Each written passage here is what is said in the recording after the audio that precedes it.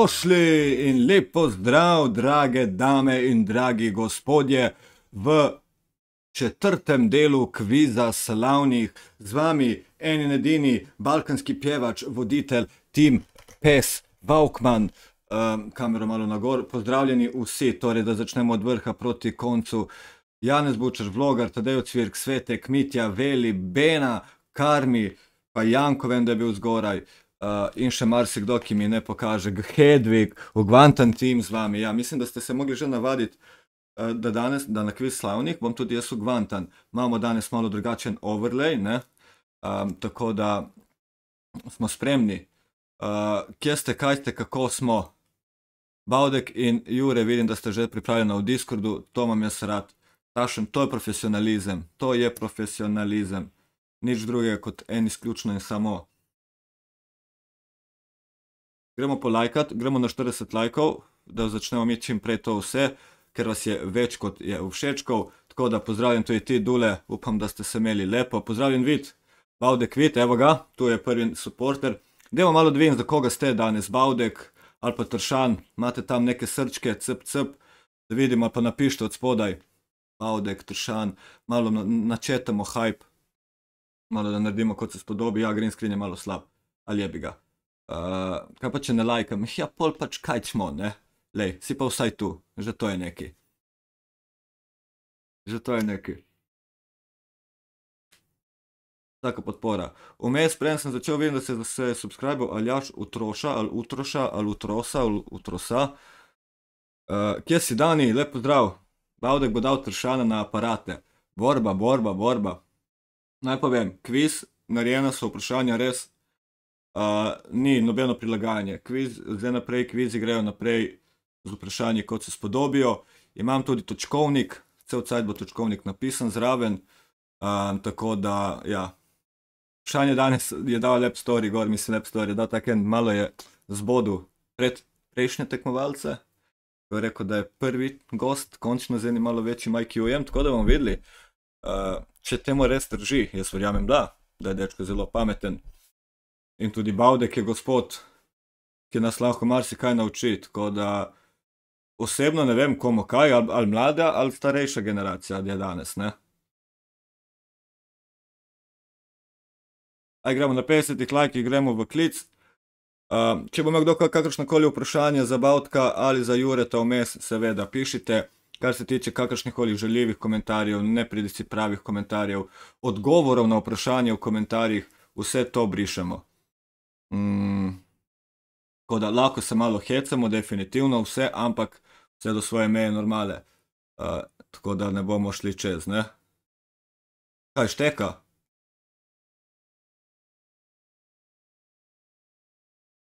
Ne mi reči, da šteka internet. Kje si, kje si, kje si?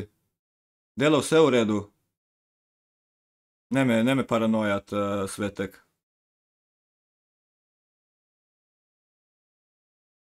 Ugasnemo vse, kar se tiče in Steam. Dela, dela, Dani pravi dela, Karlos pravi dela, Marezi ga zabavtka, ok, meni dela. Za koga ste še kaj čet? Svetek, za koga si? Dolenska, Gorenska, mislim, da je en je dolen, je dolenc, Pavdek, bomo spoznali, bomo spoznali. Svetek ima slab net, Evo, prihajam, Jure, malo smo mogli narediti, hype, lega, lega, lega, lega, uuuu, Hofer Vaux, oh, bra. Prihajam, prihajam, prihajam. Bavdek mora spati.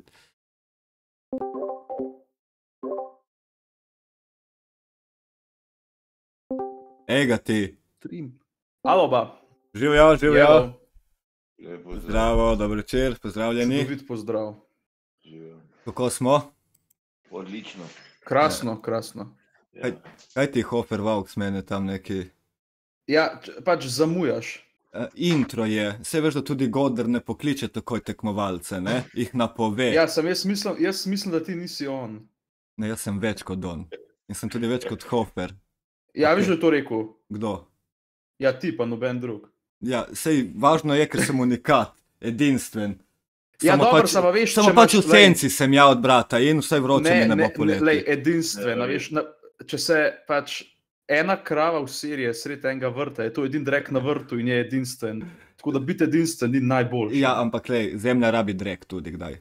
Je tako, Tako gospod je. Bavdek, se strinjate? On, strinjaš? Je, je tako. No. Evo. Uh, ah, ja, nič, lahko Kako ste? počasi prižgete kamere, da vas jaz. tako. Kamere, kamere, kamere. Kamerce so kamerce, jaz nam bomo še šero počasi tudi že. In, Aha, čak, tako mora biti. ja, tukaj je naš your Uh, screen. mi dva smela imeti zraven uh, stream odprt ali ne tvoj? Stream lahko, ni pa zaželjeno, da bi si pomagali preko kakšnega Google ali karkoli. Ne? A ja, ne, se to si nam, vem, v roki v žepu. Tebi jaz sem verjel, da si pošten. Uh, zakaj mi ne zdaj ne prikazuje, kot bi moglo? Se to ni res.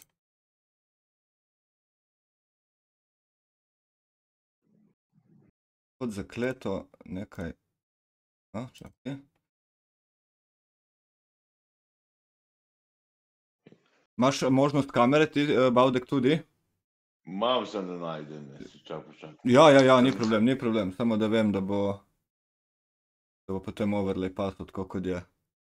Jure, kako si, Jure? Povej mi. Povedal si mi, pri, pri, pri tom mi boš povedal zdaj tudi javno, tako kot si povedal tam. Ne? Na privat, ko si bil zelo skeptičen, če bi se udeležil tega kviza, zakaj? Ja, zaradi tega, ker ne, sej, polk sem videl, da je Aleš zraven, oziroma Aleš. Aleš? Kako se izgovori? Ja, Aleš ali Aleš, pardon. Po mojem Aleš, mislim, mi na Gorensko rečemo Aleš. Zdaj, če on gorenc. Ne, ni, ni, ni. Ja. Ne bom povedal iz kje, ker sem bil že prej doma, ampak ti. Evo ga, evo ga. Zdravo. Pozdravljen, No, sem videl, da on sem prišel z veseljem, samo ker sem videl, koga si prej. Um, ker, sem videl, koga si prej um, Vse gostil. imel vse že za goste, zato sem bil skeptičen, ker sem bil, no, pojjo mene štel zraven. Ampak sem videl, da je Bavdek, sem bil, no, pa, pa pač moram biti. Vredno, če bi kogarkoli drugega mi dal zraven, ne bi hotel. Sam, ale, tako sem rekel, mora, tudi nisem se z Al- z Alešom videla, ale, Alešom nisem videla full dog, tako da sem rekel, da malo pridem. Evo, evo. Hvala ti, da si se odzval. Glede na to, Ja, da, si, seveda. da si velik YouTuber, za Slovenijo definitivno. Ne? S kolikimi številkami se lahko pohvališ, Jure? 18 centi. A ja, subscriberjev 35,2 cm. okay, jaz sem tebe začel spremljati, ko si bil še golobradi mladič s Fortniteom. Takrat sem, Aha, sem te zasledil. Takrat je bil Fortnite popularen, ti realno si bil teden redkih, ki si bil malo bolj tako v Fortniteu za Slovenijo, za reč. Ne? tako. Bi, tako. bi lahko rekel, da ti je Fortnite pomagal narediti to, kar si danes, pač da si začel zaradi Ja, na začetku sigurno, na začetku sigurno. Kdaj je bil prvi tvoj breakthrough, no? da si rekel, uh, ta video je pa zdaj naredil s premembami? Da si opazil nek. Prva, prva Fortnite zmaga je, je pač je dobila že prvi teden ene 20 tisoč ogledov, in zdaj sploh ne koliko jih ima, Ja. ogromen v glavnem. Torej Ampak ja, no, pa sem pa. Um, Pošlo pa tako naprej. No. Si bil na pravem mestu za, za računalnikom, ne? mislim, v pravem času Tako, za računalnikom. tako. Na Bavde, pravem mestu. Prvo vprašanje, da takoj, aleš ali aleš? A ne čuje se te? Uh, mikrofon mogoče ugasnjen. Ne, ne čujem. Če ne bo prišel tehnik, sin bo popravil. Bo sinek zrehtal, evo. Reši, ko smo, slabši smo s tehnologijo. Ajdete lajkat, 80 volka, 53 lajkov, ne vem, zdaj ali tle ste prišli pogledat, ko bo Tršan zgubil, pa ste samo firpčni. Ja, ne, pač, mislim, glede na stopno inteligence prejšnjih um, A. gostov, mislim, da ne bo težav. Slišimo? Ja, zdaj pa ja, zdaj pa ja, evo, Zdaj pa je. zdaj pa je. Super. Okay. Um, prvo, vsako čas sinu, kako je ime sinu, ki, ki bo pomagal bo za Gal Bavdek. Gal, Gal, Bavdek. Gal, hvala ti za vso pomoč, ki boš pomagal, če bo prišlo do česar koli. Ok, Aleš ali Aleš? Aleš. Aleš. Uh, ti- s katerih koncev, koncev prihaja pri Bavtku? Sveti vici 1380 cepica. Na, Ja, nadrakitno, nadrakitno ali pa Cerknica, občina Cerknica. In kaj spada Cerknica, pod katero regijo v bistvu? Kaj ste vi, ste? Notranci. Notranci. Okay. Notransko-kraško, notransko-kraško regijo. Ja, ker ste, ste dokaj blizu nam, primorcem, tle na obali. Ne? Ja, tako, Tako rekoč. Okay, okay. Jaz sem v Cerknico dosti hodil kot mladič. Zakaj? Ker smo tam igrali nogomet proti Cerknici. Ker je bila Ja. Cerknica je bila dobra v mlajših letih. Kako si? Hvala prvo, da si se odzval. Odlično, odlično. Uh, vidim, da imaš novo frizuro. Ja, Uh, sem pripravljen, da grem eh, 20 žura tu skvera, pa tam Poljubljani te klube. si bil vedno tako malo odpiljen, bi rekli mi, Vedno odbit do amena. odbit do amena. Vse to te dela tašnega kot si, ne? zato si tako kot si. Uh, ok, malo tako, dosti č- čete me je spraševalo, uh, koliko si kaj star, če to ni skrivnost. 51. 51, čestitam za Abraham, oziroma pa ti Ja. zdaj je že čez. Uh, in, ok, kot vidim, imaš enega sina ali imaš še koga? Eh, Dva sina, pa hčerko. In od vedno si, če ti zdaj evo tako na kratko, kdo je Baudek? Baudek je, se, ima kaj, ima, ok, primek, ampak ti, pač kdo je Aleš Baudek? Ko je na kratko, si od Aleš- vedno bil, Aleš Bauer- Aleš Bauer je eden edini, en edini alfa. Alfa. Ok, ukvarjaš se večinoma z, ti imaš svojo, kaj, gosti, kaj ono gostilno? Je.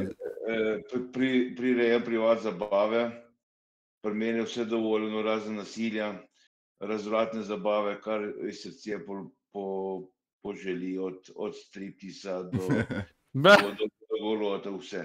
Ok, pa pa pridemo spet kaj. ja. Hodijo, hodijo, hodijo od, od politike do vse Slovenije. Hodijo. Lansko leto sem spekel 182 podpek, 1000 1200 kg mesa, 600 kg krompirja, plus ostale stvari. O, torej laupa. To je bil en dober vikend. Ja. Uh, torej, tebi se je, mislim, ti si imel že verjetno odprej pri Bautku, ne? zdaj potem pos, posledično, zdaj še toliko bolj, ker so te na YouTubu promovirali, ti se promoviraš, ti zdaj še bolj teče, verjetno. ne. Uh, kako to, da si se odločil Ja. za tako, za na YouTube in to? Jaz sem se malo snimal, ko sem pekel pri kamine. Okay. Na koncu mi je Marko željal, me je pač. eh, Je on tisti, ki te je. Odkril, odkril in on me je poli gor popelil. Evo, danes, je, danes je tudi Marko potrdil, da bo tudi on en izmed nastopajočih. Tako da, če danes zmagaš in če bo on zmagal, se mogoče srečata. Ne? Tako da, ok. Ok, morda pa. A, kakšno imaš kaj pričakovanja, pa prvo tebe vprašam, Aleš? Je pričakovanje, ni nobenega pričakovanja, nekaj, ne vem, kakšne bojo, eh, kakšen kviz bo, ne vem več. Imaš kakšno tematiko, kjer si res tako, da ti gre dobro, da ti je odvedno šlo, da si bil, ne vem, zgodovina, geografija, karkoli taki, šport. Ja, kaj pa se mi je nič nikoli, nikoli nič dobro. okay. Ne, to sploh ne smeš odgovoriti, zaradi tega, ker pa te bojo kuj, če nekaj ne veš iz tega področja. Ja, pa rekel je, da ve. A, Kaj pa Jure, kje pa Jure blesti? um, i, uh, Oziroma ti Jure, če- čakaj, koliko si zdaj ti, kaj star? 25, kaj takega, 4, 3? 22. 22, ok. 22. 21 letnik. Um, a moram jaz isto tako, kot je bilo? Ne, ne, ne, mislim, zdaj delaš. 4260, Ne, ne, um, se pravi, Gorenska proti Notranski imamo Gorenska, danes. Um, Notranska, ja. Ne, se kaj mi delaš gre- faks? Zdaj končuješ faks, ali si že končal? Ej, Liz zaključil prejšnji teden. To, kaj si, torej si postal kaj? Zdaj si? Uh, brez posla, ne. Um, uh, uh, inženir multimedijskih procesov. Okay, tukaj je napisal Svirač, da blestiš v zgodovini, ker je imel dobro učiteljico zgodovine. To jaz nisem hotel reči na glas, na glas. On je bil eno leto starejši od mene, to je en kolega. In je, um, ja, na naši šoli smo imeli res grozno, grozno učilce za zgodovino, ampak nas je tako dobro naučila, da se jaz še danes večino stvari spomnim, ker, a ne, zaradi hudobije. Okay. Govorimo grozno kot tudi vizualno, stroga ali grozno kot Ne, to ne, dejansko izgledala je kar v, v redu. bi bila za Brazers. Ja, ampak bolj kot Gilf. ok. Dobro, velja. Ja, nič, fanta, uh, dajte stisniti like vsi, ki ste tukaj, če ne bo Bavdek vas vrgo na peko, ne, da na vas vas obrnu tako, kot je. Koliko krompirja si obrnil, si rekel? V tem, le, V, enem letu- v lansko letu 600 kg sem ga spekel. no, evo, da vas ne bo kot 600 kg krompirja vas peko celo leto. Jo, porko. Sto ljudi, šest lajkov, mislim, kaj. Je res to, ko sovražite tršana, jo, porko. Mislim, da ni v Tršanu problem, mislim, Ja, da je v hvala. napačnem Voksu problem. Ne, pol pa sploh bi bilo dislike, ne hec. Prosim, jaz smo svoje ime, si delam svoje reputation, no? Lahko dovolj vse. ja, sorry. ja lej, odzval si se. Torej, ja, definitivno. to, to, Pa češ kaj, pomagam ljudem v nesreči. Ja, se, Jaz sem dober človek. ja, se, to te bo teplo na kvizu, boš videl. Ko boš dal pomoč Ne, ne, ne. voditelja. A ja, a to imamo tudi. To imamo tudi. Evo, da Ej, ne, se drugače, imam jaz tebe fulrat, jaz sploh ne vem, kva unijan neki seriji. Brez zveze. ja, on ima rad sir. Tako. Sir je, veš.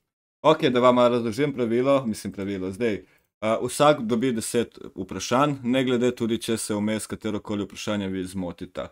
Uh, vsako vprašanje ima tudi s- vrednost svojih nekih točk, uh, najmanjše ima 10 pik, 10 vprašanje ima 1250 točk.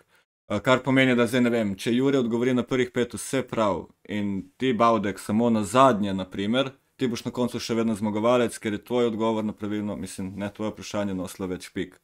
To je nekako vama razumljivo.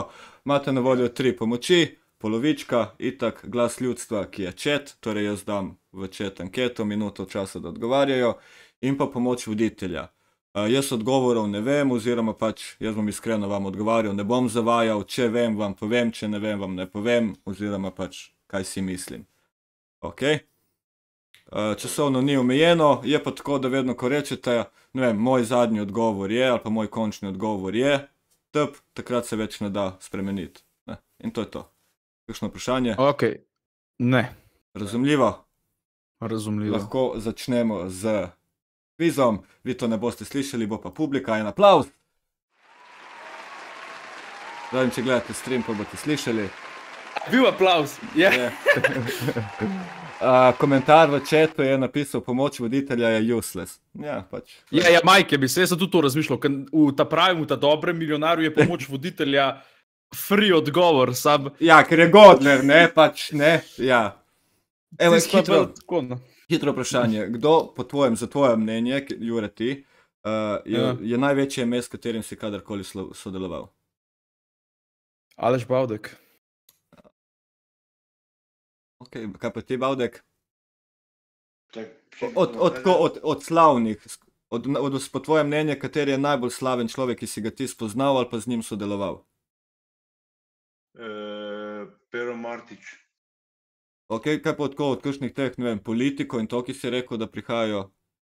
To ne sme povedati, ga je ubil. Ne, do, ne, ne na žurki, ne rabiš reči, da je bil na žurki, ampak tako, če si kdaj spoznal kakega takega tudi. Ne vem. Ja. Uh, Pahor. Aha, o, no, evo, a ni pa hor bolj večje ime kot pero, z vsem spoštovanjem. Ne, itak, da ni Pero je car, po ampak- Pahorju, lepo prosim. Ja, Pahor je influencer number one, ne, je bil plačen Ej, ne, a veš, kjer je v bistvu najbolj slaven, s katerim sem jaz sodeloval? Jan Vaukman. Jaz mislim, da je bil. Kaj, kaj, če gledaš po cifrah? Ja. Ne, no, je, Ne. ne. po mojem, ja, siguren, kašni ti, a veš, eh, estradniki. Naprimer, zrnec. Si bil kdaj z zrncem, si kaj kdaj? Ne, ne, za sodelovanje prav ne. Zrnec je Enkrat sem ga srečal v eni pizzeriji v Ljubljani, ne dve leti nazaj, to velja. Pa ja, pa če sreče To- je to je- nekaj, ja. To je to. Bavdek je maksimalno na glas pri meni, tako da, ja. Aha, evo, imamo podporo. Vaux Army, evo ga, mojega brata, je napisal, Jan, prosim, vod." prevrt, prevrt stream za minuto nazaj. ja, se bo, kam je zdaj, ko me zdaj prišel, kao, A ja, sorry, sorry, sorry. mam, mam. Jaz bi rekel, da je, ja. Ja, se mogoče pa res, ja. to ni jejev. Uh, ok, da se zdaj lepo čez zdaj ven pop out, da mi lahko začnemo z tem, zakaj smo danes tukaj, ne, zakaj smo se zbrali kot pri Maši. Uh, kdo bo začel?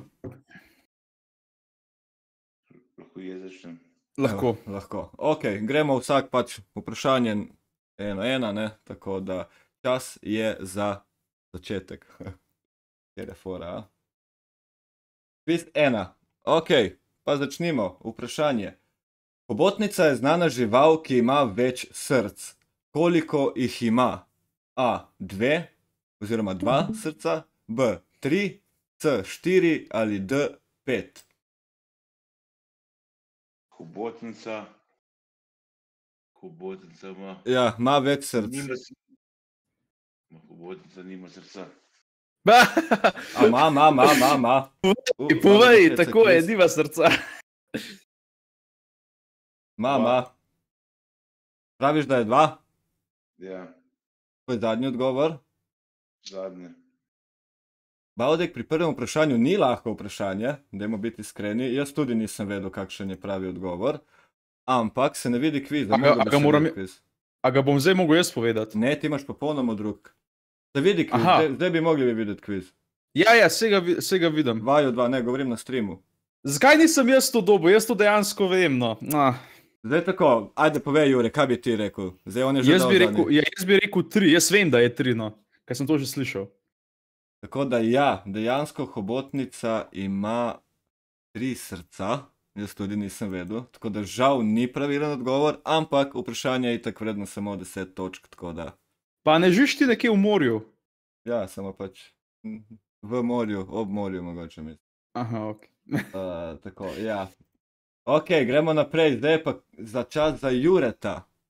Jure. Za nekoga, ki dvori dekletu drugega, šaljivo Mhm. pravimo, da mu hodi A v zelje, B v napoto, C pred spalnico ali D na češpljo. Ja, to je pa, a veš kaj, mislim, jaz vem, da vzelje pomeni, da se nekam utikuje, kar bi lahko se tudi šlo, da se nekomu utikuje v zvezo. Ampak Mhm. ta češplja ne, je kar uh, povabljiva. Oziroma pač tako nekako je logo za češplje. Ja, ja, ja. no vse za to, vse za to, tle sem jaz doma. Pravi Mislim, moj to brat. Sem, tle, to sem razmišljal. Hm. Oprosti, ker prekinjam, pravi moj brat. Bavdek, če ti ni za biti tukaj, pomežikni. Jaz bom rekel, da Hvala, je Janez. odgovor A v zelje. je to tvoj zadnji odgovor? In seveda. Smo Upam. Pri prvem vprašanju, ker Jure na, na nekoga, ki dvori dekletu drugega, šaljivo pravimo, da mu hodi, pravi v zelje. A, Kolebal je med zeljem in češpljo. Ja. Zato, ker ga češplja spomne na nekaj, tudi ne. Ja, ja. Ne, ne bomo rekli na kaj. Uh, odloči se za odgovor A. In tvoj odgovor je pravilen! Deset točk je tvoj. Množica podori. Množica, ponori, gospa, dajte se umiriti, gospa. Potem Ja, ja, daj, prosim, zadnji, bodite Prosim. Publika, no, no, kasneje podpisi. Ok, deset točk. Gremo dalje. Zdaj pa za drugo vprašanje. Aleš, zate. Katero od orodij atletike je še najbolj podobno krožniku? Je to kladivo, krogla, kopje ali disk? Disk, zadnji odgovor. To pa je bilo suvereno. Si se kdaj ukvarjal z atletiko, športom, s čimerkoli? Ne, ne, Pa spremljaš kakšen šport? spremljam. Uh, kaj najbolj od vs- vseh športov? Eh, Alpsko smučanje skoke, Okay. formulo, formulo sem spremljal, pa MotoGP sem spremljal, take stvari. Košarka, Kaj pa, kaj pa vlečenje vrvi? To smo se pogovarjali zadnjič. Eh, Vlečene veri sem pa v državni ligi vlekel. Uh, to je strongman varianta, ne? Ali, Ja, ja. mislim, Ja, ni strongman, ampak je vlečene vrvi. To je uno, ne? ki je- Eh, Zdaj, zdaj vla- vlečen sem še Gornji Radgon, ki smo od, od 2015 let nepremagljivi. Opa, Šest komadov nas je vagalo, to na 40. ok. Uh, si razmišljal, kdaj da bi se prijavil, ali zdaj ti je že tako malo prestaro, da bi šel kdaj v kakšen tak strongman diziv ali neki. Wow, wow, wow. Ne, ne vem, ne vem, pač, pač kaj jaz vem, si Sem- sploh staro. Sem Pač. tekmoval, sem tekmoval tudi v, eh, za najmočnejšega slovenca, sem tekmoval, prišel sem enkrat do drugega meseca, to je pa vse, kar je bilo. Okay. Zdaj pa vse rado pre, preveč konstrukcijsko in, in je tu Ni več to. Koliko let je polo tega nazaj, ko si bil to drugi? Eh, eh, ja, če pa že ene 25 let. Ti, Jure, še niti v planu nisi bil. Vidiš? Ko je Tako bil je. drugi najmočnejši slovenec danes tukaj. Tako da, ja, ja, ja. Ja, jaz sem bil po čez dve leti najhitrejši. Jaz sem, najhitrejši med parimi milijoni. Rastujoč youtuber na Gorenskem. Tako. Na Gorenskem. Te je Juž prehitev, ne, hecam se. Ni. On ni YouTuber. Ja, TikTok. Ajde, tvoje mnenje, TikTok, slava YouTube. Mislim, TikTok številka YouTube številka, to je kot da bi primerjal kaj, evo. Ja, to je čist drugače, zaradi tega, ker ti na YouTubu dobiš, ne vem, 10 tisoč ogledov in je to o noro, na TikToku dobiš 100 tisoč ogledov in je tako, o, oh, nice, Kaj raje spremeš? Vsak dan, da se Ja, YouTube. YouTube. Zato, ker rečeš, na YouTubu je tudi pametna vsebina Ja, in to je to, na TikToku pa ne. Na TikToku ti ful hitreje gre, kot si rekel, ti 100 jurjev, a, kul. Cool. Za nekoga, ki ima res cifre. Ne? Ja. Ok, torej smo pa pri vprašanju, kjer je suvereno Bavdek odgovoril, da je to disk. Uh, jaz pa še enkrat na tej točki naprošam in pozivam, da všečkate, da bomo prišli do 100 lajkov čim prej, ker če ne se kviz zaključi, ker imam pogodbo z YouTubeom s tem. Uh, ne hecam se, ampak hodi. Disk je pravilen odgovor, definitivno, tako da te točke tukaj od spodaj niso pravilne, da boste vedeli, to je. To moramo še popraviti, kripta. Prav. Uh, tako da imamo pa pike tam na streamu, oziroma vidi se. Disk je pravilen odgovor, tako da gremo na drugo vprašanje za našega Jureta, JTB. Kaj blond? Pač Jure, to šam blond, blond, si so te klicali od vedno blond, ali si se nekako odločil za blond, pač ker si. A že odgovor oboje. Oboje. Okay. Pa si imel še kakšen drug nadimek? Ja, udojk. Ne, um, až pa, uh, nisem imel nič, nič drugega, uh, zaradi tega, ker sem v bistvu dobil ta vzdelek že v mali šoli. Čeprav mi nismo imeli male šole, mi smo imeli ta velik vrtec. Aha, ja, tako da si to še predosnovno. To pa sedaj vprašanje za te. Kako je bilo ime mati Aleksandra Velikega? Je bila to Roksana, ja. Ariadna, Rea ali Olimpijada? Ti gre. Dobro, da sem prej rekel, da bi gre zgodovina in zdaj sem zajeval. ok, dejva, dejva takole. Roksana je bolj na krajinsko-ruski strani ime, ker je tudi tako ime pevki, ki je 2004 zastopala eno od teh dveh držav. Ruslana. Drugače. Tako. Ne, A ja, Ruslana, a vidiš, sorry, jaz sem bil takrat leta bi star, se pravičujem. Ampak, Sorry, ampak ja, sem probal, le, se Mo- probat ni gre. Intermezzo, tako. Ja? Tako, ampak, ampak Roksana je, mislim, da vse en azijsko, azijsko, oziroma na desni strani zemljevida, da jim reči. Okay. Mislim, da je se to ime tudi, da je v Boratu, se zaradi tega. Aha, ja. Dober film. Tak. Tako. Uh, Olimpijada je dejansko ime za tiste konce, iz, iz kjer je Aleksandr Veliki. To pa so. Ja, makedonsko-grški, je to ful rasistično.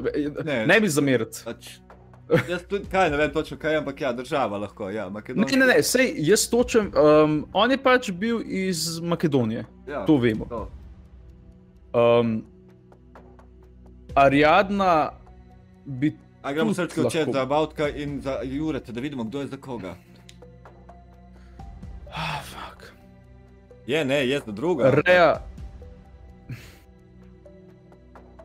Ful Grkov ja, ful, to.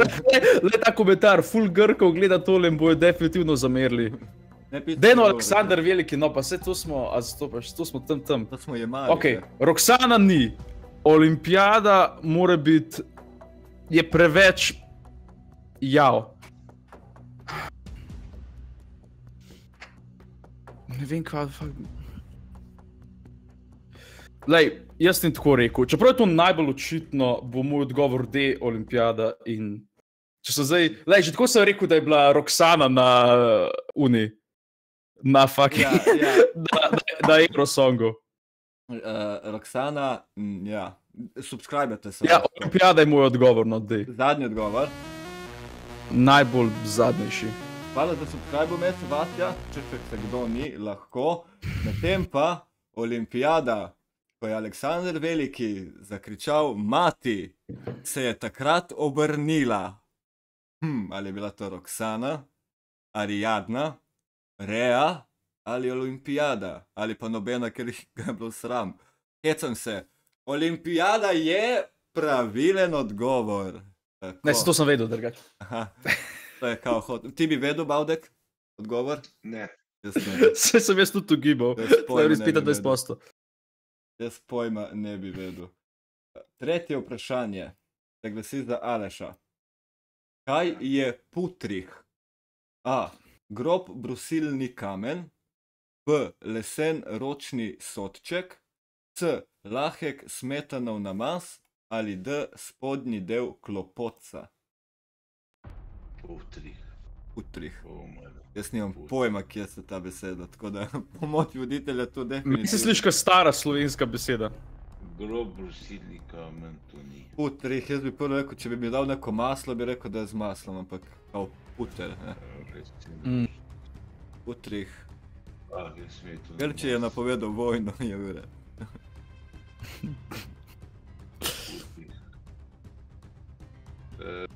Ne velja pisati. Lesen, lesen ročni soček me najbolj blizu. Lesen ročni soček ti je najbolj nekako Ja. putrih. Če kdo ve, kje izgovarjate putrih, lahko samo napišete, kera regija je, ne pa odgovore očet, prosim, da bo čim bolj zanimivo. Se drugače, jaz bi isto rekel, bi je. Bez zadnji odgovor. Res zadnji odgovor. Ja. Putrih je v prevodu, Avdek pravi, lesen ročni soček. Ben iz četa ni napisal, kje tako govorijo, lahko da je to res neka stara una. A to se pogovarjate v slovenščini, ja ne vem, kje rečejo. Prinesi mi putrih, mati, je dejal in prinesla mu je, Avdek pravi, lesen ročni soček. Res je, pravilen odgovor. Opala. Spodnji del jajc je napisal en v komentarju. Hvala. Putrih, pojma nimam, kje se. Dajte pogooglati čet. 10 lajkov do 100, mi smo pa na tretjem vprašanju za JTB. Kako je bilo na Game Gangu? Evo. Čudovito, čudovito. Uh, Zmatral sem se, jaz sem bil vsak dan, cel dan, v petek, sem, ne, v soboto sem bil celo dvakrat. Ja, dober, v redu, Težek live. težek. Kaj je štrkinica ali šklop? Je to Ok, past za polhe, etui za brus, preteno klopotca ali kopito za čevlje. ok, se pravi, vrteno klopot, to bi zdaj počasi že mogel biti, ker to je bilo že prej, če sem prav videl. Ali je nekaj drugega, pa je bil kot do odgovor. Ok, kopito začel. Tukaj je bilo spodnji del klopotca. Ja, ja, Imel ok, on prej. etul za. Da mi jih vsaj preber. Past za polhe, etui Ja, ja, za brus, vreteno klopotca ali kopito za čevlje. Ah, A, a tvoj zadnji odgovor? Ne! A, a ja, Čak. a ja, a ja, kao. Ah, ne, ne, ne, tako sem bil sam. Ah, um, ne, ne, ne, lej, uh, ok. Šklo... To, se, to, je, a je to spet ena stara slovenska beseda. Ja, nova lik po moje ni, ne?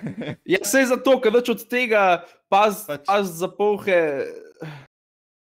Mislim, kam si dal ta šklop, eh, ko smo snemali TikTok, se spomniš? Ja, čak, škr, šrkinica. Glej, ra, e, B, en pravi B, no, čeprav ne pisati odgovore, ampak ne bi tem, tem verjel. Kaj sploh, a čak, etui za brus. Brus je po moje. Jaz zdaj nočem biti ot- otrok, ampak kaj je brus? Ja, se brus, lahko je brus papir. Ja, ker jaz sem to tako vzel. Ali je pa pač neki, neki za brusati v vsakem Ja. primeru. Ali ti bi vedel odgovor, se ti kaj iz... Ja, jaz ga vem. A, Ok, jaz bom poj rekel, jaz bom poj rekel, čak, če ga Bavdek ve. Torej, to se govori pri vas, ali to je dejansko. Ok, okay deva tako. Vse ostalo se mi zdi, kot da ne To rab vprašanje pa, druge besede. Veš, mnenje etui je etui, kopito je kopito, vreteno je vreteno, ampak samo past za polhe je tako, ni ena beseda. A ne? Je pač, šrkinice. jaz bom rekel, da je A pravilen odgovor. In je to tvoj zadnji odgovor? Ja, po mojem, ker je edini malo drugačen, kot ostali. Vsi ostali so že, kot ste rekli, tu je kopito vreteno, samo pač past za polhe ni Telo neka druga beseda. Na, na, na, na, na. Torej, kaj? Tako. Zadnji, moraš, Pa moraš, past za polhe, a. ja, moraš reči zadnji odgovor. Moj zadnji, najbolj zadnji Godler me je odgovor tako učil. Uh, past za polhe. Pavdek, kako narediš tisto pri tebi? Kako je on je tvoj značilen? Opa! Eto. To sem danes hotel narediti, nikakor nisem znal, ker sem neroden, jaz ne znam nič. Jaz znam to narediti. No, pa sem imaš brata, da gremo naprej. Ja, on, on, on pa kopira večinoma, ali pa prevaja. Uh, šrkinica ali šklop. Jure pravi, da je past za polhe. Jaz pa pravim, da bom pri 100 lajkih ali pa 95 lajkih povedal odgovor, tako da to je 5 lajkov in bomo malo še pustili v tenzi ali pa ima ta čas naj folk malo googla in tako naprej. Ej, kaj če zdaj noben, kaj če zdaj noben več ne lajka, pa smo kar tle do, do konca leta. Ja, si videl. To sem zdaj pa si dal izziv. Broski ne ve, pol kurca mu ni jasno, o čem se pogovarjata. Pogovarjamo, kviz je to, broski, drugače. Kviz pa so vprašanja, kjer imaš na voljo pol izbirati odgovore. Razlaga kviza. Uh, Štrilajke do 100, ampak v tem času bomo mi dali odgovor. Ti si rekel pas do polhe, nimam pojma niti jaz, kaj je. Baudek ti povej, kaj je pravilen odgovor, ki si rekel, da je. A, a, pa za puhe. Pa za polhe, bum, tudi na tretje vprašanje, Jure, suvereno. Uh, ups. Za Aleša. Kakšne barve so teniške žogice na uradnih tekmovanjih? Bele, rumene, oranžne ali rdeče? Rumene. Gledaš tenis? Mislim, ti gledam, gledam, vem, kaj so B, zadnji odgovor rumene. Enako bi rekel tudi jaz, tenis, ne vem, če sem A, ja, a, lahko samo eno umestno vprašanje. Ja. Se pravi, tukaj ni, um, uh, da je skozi teži. Ja, je, ja, samo pač so dejansko. Kako je to težje od Aleksandra ja, Velikega? Ja, je, bi ga pač sem, ja, sem jih samo kopiral, jaz sem tako dobil. Se zgodi, lahko da boš imel kakšno šesto, mogoče, ki bi ga lahko rangiral Čakaj, zdaj so- nekam, ampak Okay, okay. Zdaj sem jaz na vrsti. Ja. malo, ja, rumene. To je zadnji odgovor in odgovor je pravilen. Uh, Lej, tudi, evo, tudi ti imaš zdaj četrto zelo lahko, jaz mislim, da. In glasi se, katera dva stroja najdemo v mnogih gospodinst, gospodinstvih v enem aparatu? Okay, Hladilnik yes. Štedilnik, pralni in sušilni stroj, hladilnik in pralni stroj ali štedilnik in sušilni stroj. Ena mašina za dve stvari. Se pravi, hladilnik in štedilnik ni. Ne, se dobro. vem, kaj je, sam delam ti zanimivo. Ja, ja, ja, je pravilno tako, čakaj, damo intense music. Pralni in sušilni stroj bi bil možen. Hladilnik in pralni stroj zelo težko, štedilnik in sušilni stroj bi bilo tudi možen, ampak pravilen odgovor je B, pralni in sušilni stroj. Si lastiš te naprave v stanovanju, pralni in sušilni? Lastim š- si vsako posebej, zaradi tega, ker te naprave v enem nikoli dobro ne delajo. Se bi strinjal. Jaz se žal sušilnega ne lastim, bi pa rad imel pomivalni zopet. Ker enkrat, ko ga imaš, potem je pizdarija, ne. Imaš pomivalni? Pomivalni za posodo. Ja? Čak, se govori o pralni je za obleke, pomivalni za posodo. Bravo, bravo. Ja, no, vse za to, čak, kjer ga ti nimaš? Pomivalnega nimam več. Za posodo. A ja, sta- a, a sta šla na razen? Ne, zabavam se, Ne, sorry, sorry, sem se. sorry, bad. preselil sem se. Sam B, dejansko, B, please. dejansko smo, mi smo, dejansko sem imel, smo imeli v bivšem stanovanju od bivše, ampak ko smo šla na razen, mi je vstal. Potem sem se pa preselil in tega nimam. Ja, se to je to, to, kar, to je to, kar sem mislil reči. Ja, tako je. Tako vedno, ja. Uh, pralni in sušilni stroj je seveda pravilen odgovor. Uh, uporabite kodo, ne vem, kjero za popust. Kje? Ja, pač Če- to- Uporabite ne vem, kje kodo, ne vem, kje za ne vem, kakšen popust. nekaj se najde. Ok, peto vprašanje. Peto vprašanje je pa vredno 100 točk. Torej, zdaj ima Baudek 20 plus 40 je 60, plus 80 je 140 točk in če odgovoriš pravilno, jih lahko imaš 240. Vprašanje se pa gla, glasi, koliko znašajo tri četrtine od ene polovice? A. 3 osmine, B. 0,36, C. 6 četrtin ali D. 0,37. Koliko znaš je tri četrtine od Od en- polovice? Ja, to je pa že malo matematično vprašanje. Ne? Koliko znaš, je tri četrtine. tri, tri osmine, šest četrtin, nula šest, tri osmine. Znaš, je tri četrtine od polovice. Torej tri četrtine. Kaljen domen. Kdor ni plus 17 subscribe, Tri, veš, tri. malo, ti gre matematika, jaz nisem matematiki. Tudi čet mislim, da ne bo ve. zdaj. poročil. Ja, Jaz sem pa dejansko, jaz sem še toliko bliž šole, jaz sem znal zračunati.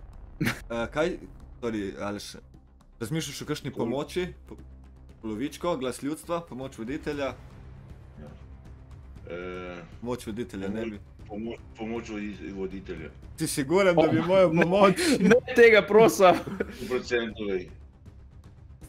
torej izbereš pomoč voditelja. Ja. Ok, hvala, ker, ker si izbral, jaz z matematiko pojma nimam. To znači tri četrtine od ene polovice, če bi si nekako razlagal, bi mogel dati to nekaj na pol, tri četrtine na pol, po moje, med A in C. Če mi pa daš pištolo na glavo, rekel bom tri osmine, ajde. Ampak Tudi jaz sem to, tudi jaz sem to mislil. Ne, ne vem. Ne vem zakaj, ampak hvala za subscribe, drugače za Anex. V življenju bom vse samo matematik, ne. Ja. Če bi bilo v gramih, bi mogoče lažje vedel. ampak- Moj odgovor bi bil tri osmine, ampak nisem pa niti malo pripričan. Tako da sem ti bil kje v pomoč, bomo videli. boš dal A tudi ti. Ja, a, a zadnji odgovor. Tudi jaz- iz, no, ja, povej, povej, sorry. Tudi jaz sem tri osmine imel v, v, v mislih. Lico, dober komentar.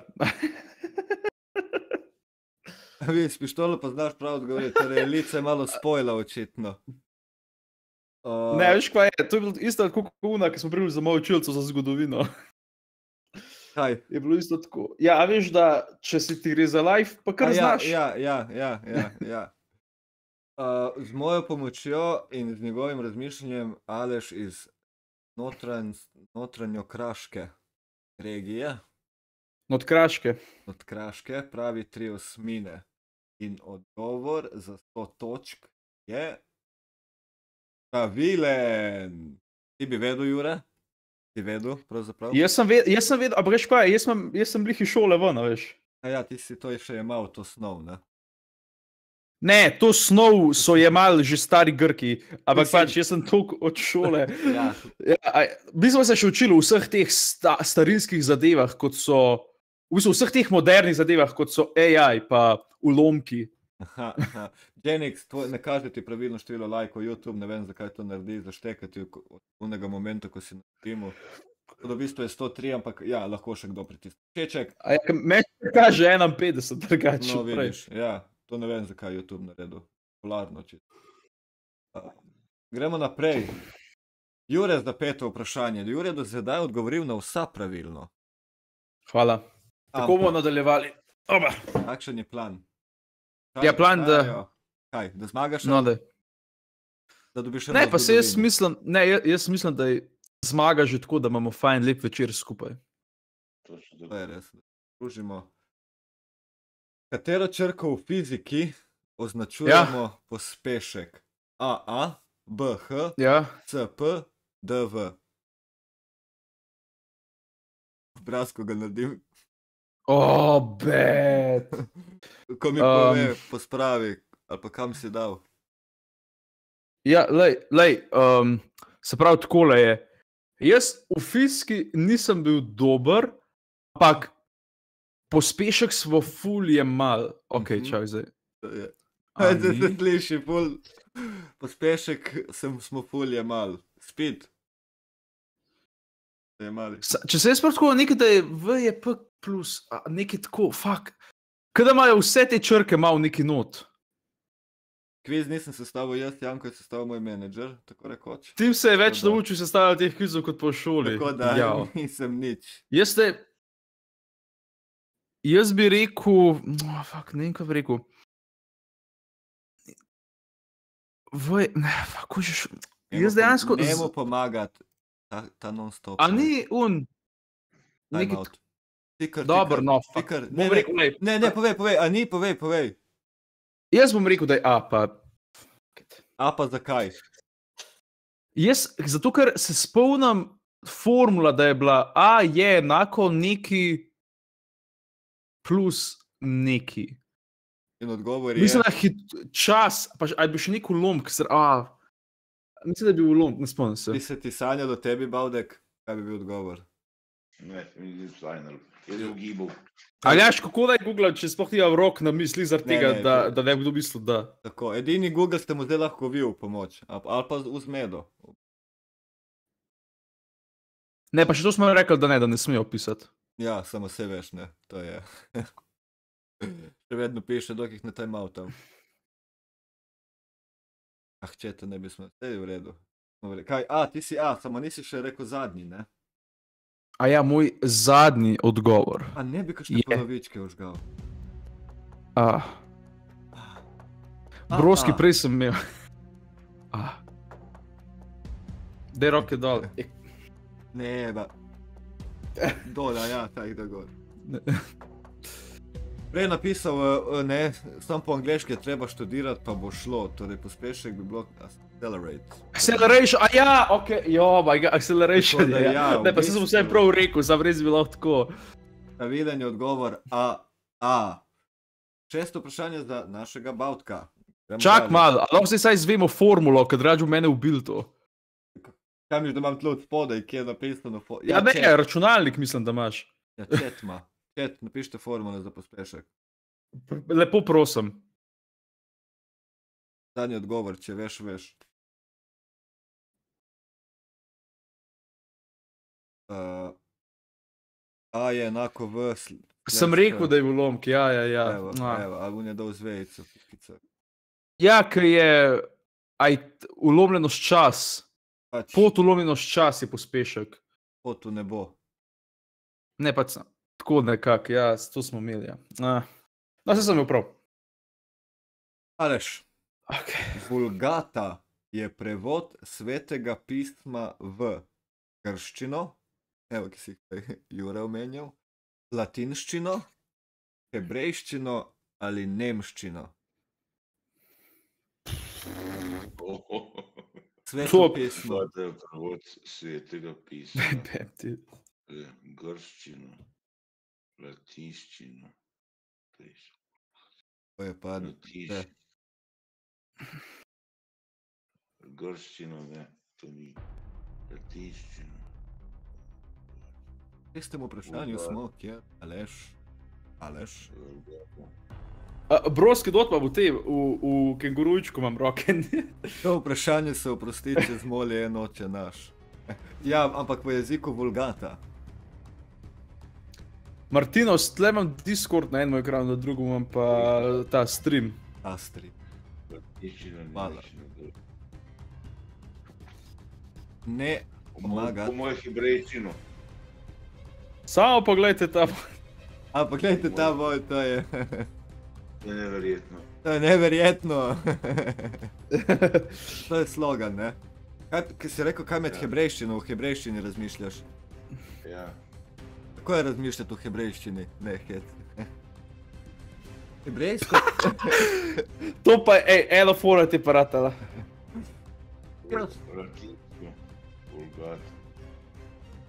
Jaz osebno čujem prvič jezik. Ne, Martino, sve ni treba.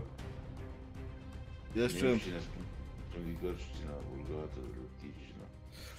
Zdaj bo vse zadnjo govor hebrejščino, pa kar je je. In Bavdek je pokazal, da ima jajca in si upa riskirati, ter pravi, da vulgata je stari jezik oziroma prevod svetega pisma v hebrejskem jeziku. Jurec spodaj odkimava, zdaj pa je vprašanje. Čemu in zakaj odkimava? Ni strinjaš se z njegovim odgovorom ali? A veš, kaj je ena beseda na bok me spomnila na besedo vulgata in um, tu una beseda je pač latinska in mislim, da je ta tudi. Pa zakaj bi, ali sem, a ni bil svet pisem napisan v hebrejščini, ja pa v staroarmejščini. A v originalu. V originalu, ja. Je se iz originala se ga mogel prevajati. Ja, vem, ja, ja. Jaz mislim, da je napisal Jezus. Ja, ampak v enem jeziku, valjda ni v hrvaščini napisal, pizda. Ok, da jaz bi rekel, da je latinščina. No. Lej, pa to je neverjetno, bi rekel naš Baudek. Ja. A je pravilen odgovor hebrejščina ali latinščina? Ali še rekel hebrejščina? Latinščina je pravilen odgovor na vprašanje. Bogata je. A veš, una, a veš, una opera na boku? Tako Ja. nekako me kot beseda me spomni na ta, na vulgata. Ja, tam si šel, Ja. samo not.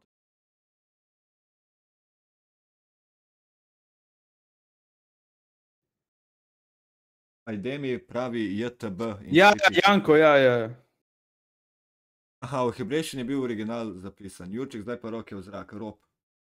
Da vidimo, kakšno vprašanje bo dobil Jure. Pije so radioaktivni, kateri uh Mhm. -huh. ni. Ok. Radon, da se sjetim, Tori, Ja. Franci ali Samari. Torej govorimo o treh dečkih iz Černobila, ki so se rešili, oziroma se niso, en pa ja. To se je rešil. Tepem ti. Ok. Radon, Radon, če se ne motim, tujun, ki ga je naredila. Um... E, ja, ej, Vauks, hvala lepa. Ej, alo, prosim, to prebereš, ker si ti rekel, da je Jezus napisal Ko si se zdaj pismo. To je bil trol, pizdo mater. Ja, Ko je ja, napisal je. Ja. Biblijo je napisal Ja, Bob ne, Marley ne, ne, Rocky. ja, trol je bil, trol je bil, trol je bil. Um, ok. Radon je po mojem naredila una Marie Curie in ta vem, da je radioaktiven. Ali bil on radi, radi pa poloni. Marie Curie, ja, Ma- Marie o, Curie ja, po mojem se ja, zgori. ne vem. Ona nar- radi pa poloni pa še enega. Samari pa Franci. A so to zdaj sploh vse dejansko uh, elementi? Mislim, elementi. Vem, kaj- a- a Ta v- Franci, za prvo misel, da je ime. Boš upravil, boš upravil pomoč voditelja. Ne, ne bom. Nik, ej, po mojem, ne bom noben. Bom, če so tle vse, bom najprej rekel, rekel bom, da je Samari, D, moj zadnji odgovor, ampak druga stvar, ki bi pa rekel, da razen 50-50 so tle vse pomoči useless. Ja, Zato, glej. ker na milijonarju Gogi dejansko ve odgovor in ti ga pove, pa glas ljudstva je tudi zmer prav. Kaj mi že tle ne bi imel prav? Ne, tle pa glas ljudstva so ljudje, ki imajo v ponedeljek zvečer preveč cajta, drugi pa voditelj, ki itak nič ne ve. Ja, če bo Jaz bom rekel, da je Samari in to je to. Če bo v športu, ne, lahko se zaneseš name, ljubim. Tamari pravi, Baudek ti bi vedel, kemija. bi vedel, kdo v četu, noben bi vedel v četu, po mojem, ni noben tako pameten, da bi vedel. To je glas ljudstva 200%, evo, Aljaš ti je to napisal. Imaš v njemu upanje. V, v enemu. Fore, ne, ne, pa ni fora, da ljudje ne bi vedeli, ampak da bi za nalož na robe napisali, da te do zmedejo. Ne, mislim, da do zdaj ni imel noben, noben ga niso do zdaj, ko so. Vse vedno res realno odgovarjali. Tam da ti, ja, mogoče To, ti pa glas. tako napisal. Ja. Ali pa to, lej, ali pa to tudi. Lej. Ne, no, broske norete imam. A Brodski je tvoj hater, ali samo tako trola? Ne, ne vem, kdo je. Brodski. Voditelj, Samari. Veli pa Janko, jaz se strinjam. Ne bom. Bom, lej. Samari. No, dej že, no, ja. Bravo. Bravo. Ok, to priznam, da to je bilo čist 25 postov, pač to, ta je bila, Se strinjam z Andrejem, modrec je tiho, Aleš, tepec blebeta. Ali pa jaz, ki sem voditelj. Aleš, na sedmem vprašanju smo. Ja. Kdo od naštetih zgodovinskih osebnosti je uvedel splošno šolsko obveznost za otroke starejše od šestih let? Je bil to Jožef II, je bil to Franc Jožef II, je bila to Marija Terezija ali Marija Medičejska? A odkar ima Audija, ima on tršana rad. Pozdrav za Audija. Čudovit pozdrav. Lej, me ne poznaš. Veš? Kaj praviš, kdo je kriv, da moramo, oziroma kdo je uvedel tisto, da od zdaj naprej Janko je napisal Borut Pahor. Borut Pahor. Jože, Jože, drugi Franc Jožef. Franc Jožef ni. Ok, Jožef pa bi ti črto, torej B. Franc Jožef ni. Jaz se to dejansko isto iz šole spomnim. Zaradi te osebe bi si mogel tam sploh hit. Ja, ja, mi smo se to v šoli učili, odgo jaz sem odgovoril iz šole, pravim. Vsi mislim, da so. Zdaj pa. Marija Terezija. Po, po njej dosti stvari nisem. Če pa tu, pa ne vem.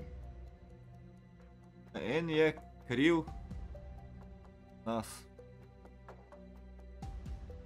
Vprašanje te bo zadnji, kaj ja bere odgovore iz če Ja, sigurno ne, a veš, kdo mi jih, po mojem, jih leja bere, tlele.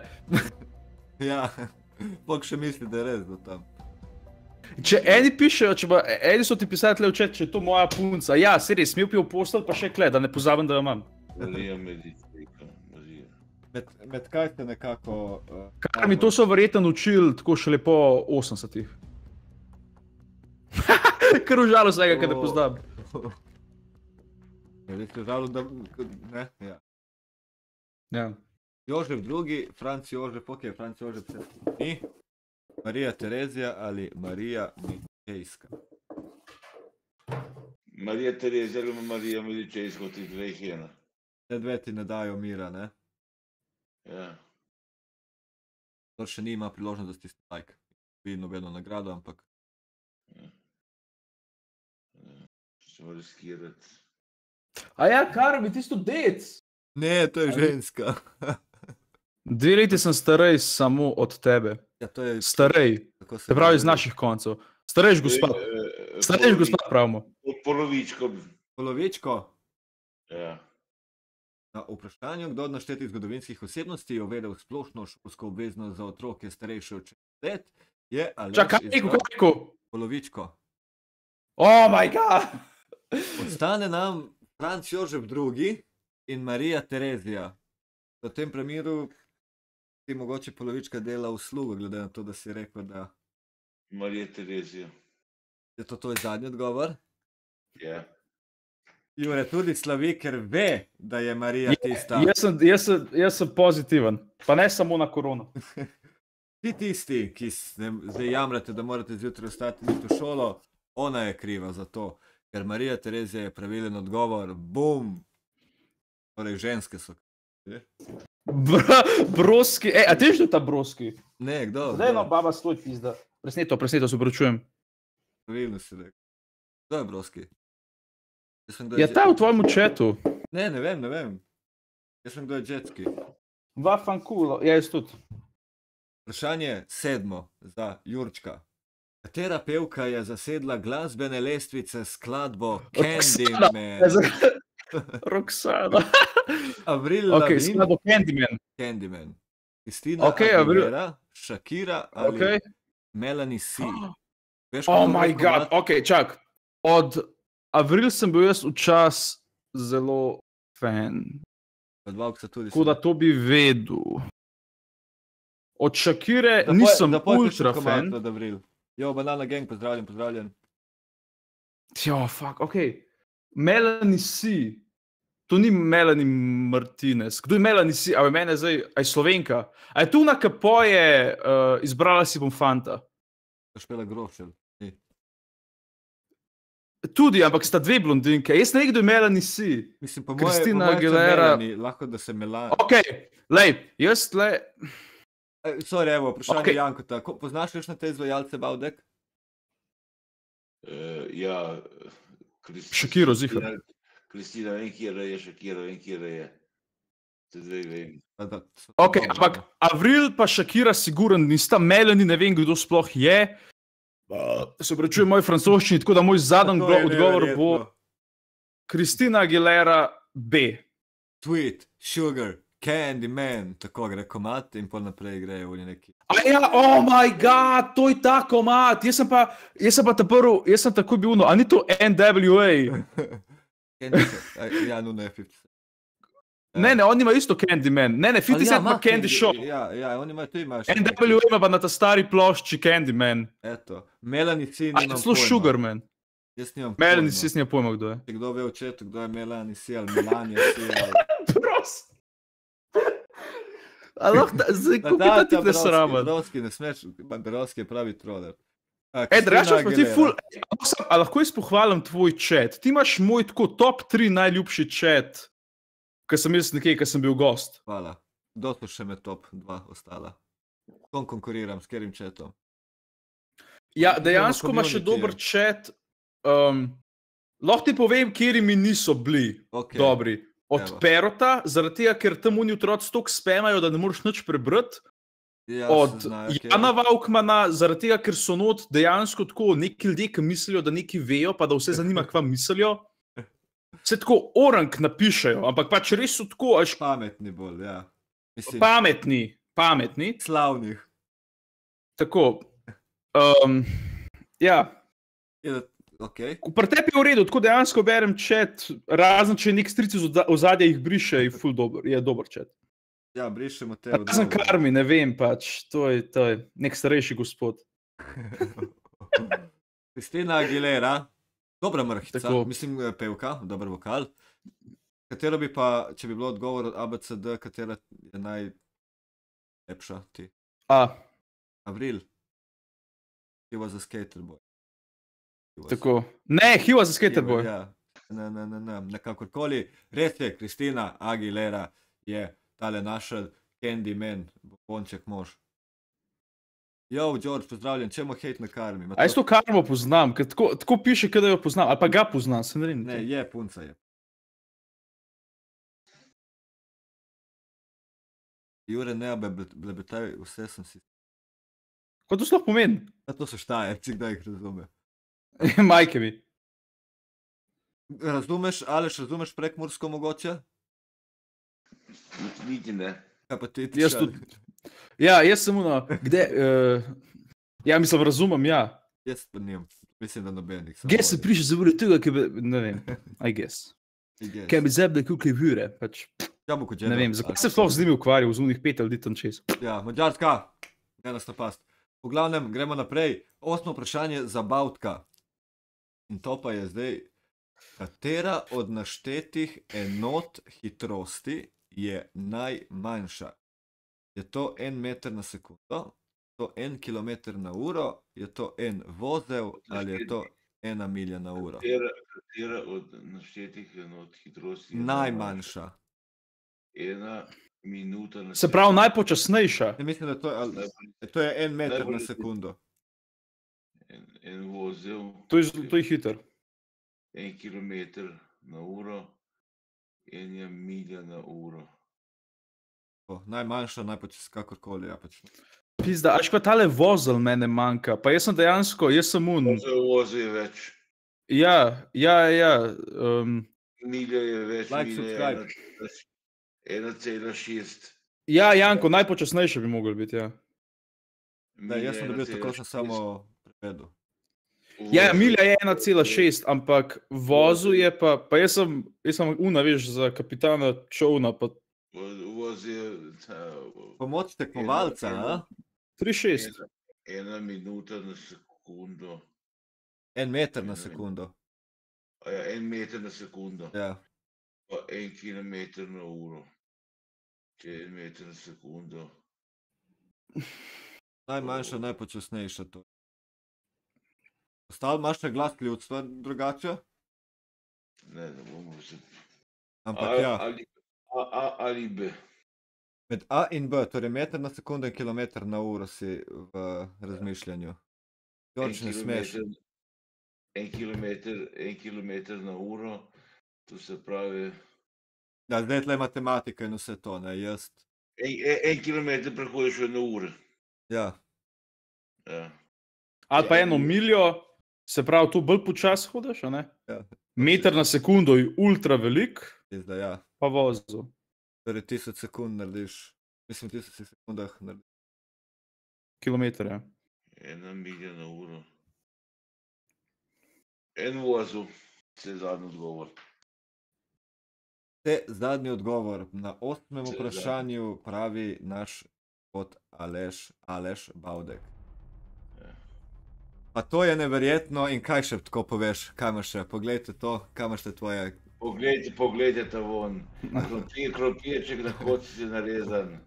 Poglejte to modrino, pa to je neverjetno. Pa kje drugod kot samo pri Bavtku? Tako in zdaj za konec še pozdrav, tvoj. Opa, opa! Tako, kakšnega imaš pa ti tršan? Boš za zmago, če boš zmagal, kaj boš naredil? Kako misliš, če ne razumem? Sorry. če bi zmagal, Smile and wave, tako bom. ja, to je tako, si next round. En vozel naj bi bila najpočasnejša oziroma najmanjša hitrost od spodaj naštetih, popravi naš Aleš Bavdek, ki je pri osmem vprašanju zgrešuje dva odgovora oziroma dva vprašanja, zdaj pa tretje. Tretji je zgrešil. Da, tiho, dej. Te veš. Od osmih vprašanj odgovoril sedaj na robe. En kilometr je najhitrejši, ja, mislim najpočasnejši od spodaj naštetih. Torej, en vozel, nimam pojma, koliko pol narediš, koliko je vozel na hitro. Mislim, da je 3-6. Jaz sem to iz šole, se spomnim, sam ne iz, iz Mornarske, sam Mornarska. ne zdaj čist. Je kdo, imamo kakšne mornarje v četu? Ja, ja, jaz bi očetu. mogel to vedeti. Ja, a ti si mornar. Ne, ne lih, nimam pač faksa, ampak imam pa za čovn. Evo, Jerry pravi, vozel je 1,85 metrov na uro. Znaš Jerryja, Jure? Ne. Jerry, X Gamer. A ja, njega poznam, ja. Eh, sorry, pa sem. On tebe ne. Z njega sem lih srečal včeraj, ali predvčerajšnjem. Točno se je Game Gang. Na Game Gangu, tam, ko ti nisi bil povabljen. Ja, sej, jaz sem, hvala Bogu. Broski mam, ja. A imaš izpis za čovn trans, a ne trča. Oh moj bog, ja. Ok, osmo vprašanje za te, Jure, poglavar. Strel. Ajde, čak. Katero ime? Katero je Ja. ime prvih sovjetskih umetnih satelitov, Uh, ki so obkrožili Zemljo? Je to bil Ah. Vostok, Sputnik, Lajka ali Sojus? ok, lajka, vemo, da je prva Lajkajte. psica, ki so. v glavnem, lajka je bila. Delulu, obožujem tvoj komentar, by the way, obožujem ga. Ampak lajka je pes, ki so ga prvega poslali v vesolje. Vostok, ne vem, kaj pomeni, Sojus tudi ne, vem pa, da so, to sem siguren, da so um, Sovjeti, pač, mislim pač Rusi, kako koli, da imamo spet se komu upravičevali 10 minut, da so poslali v vesolje nekaj, kar je Sputnik. Okay? To sem siguren. Se pravi, Vostok, ne vem kaj je, Sojus, ne vem kaj je, Lajka je kuža, ki so ga poslali prvega, koda. Voda Bo je moj- šifra. Kaj si rekel? Voda je šifra. Oh moj bog, no pač ti si kašen boomer. Um, Boomer, Jaz bi tako dejansko mladi rekel, izraz. da je Sputnik.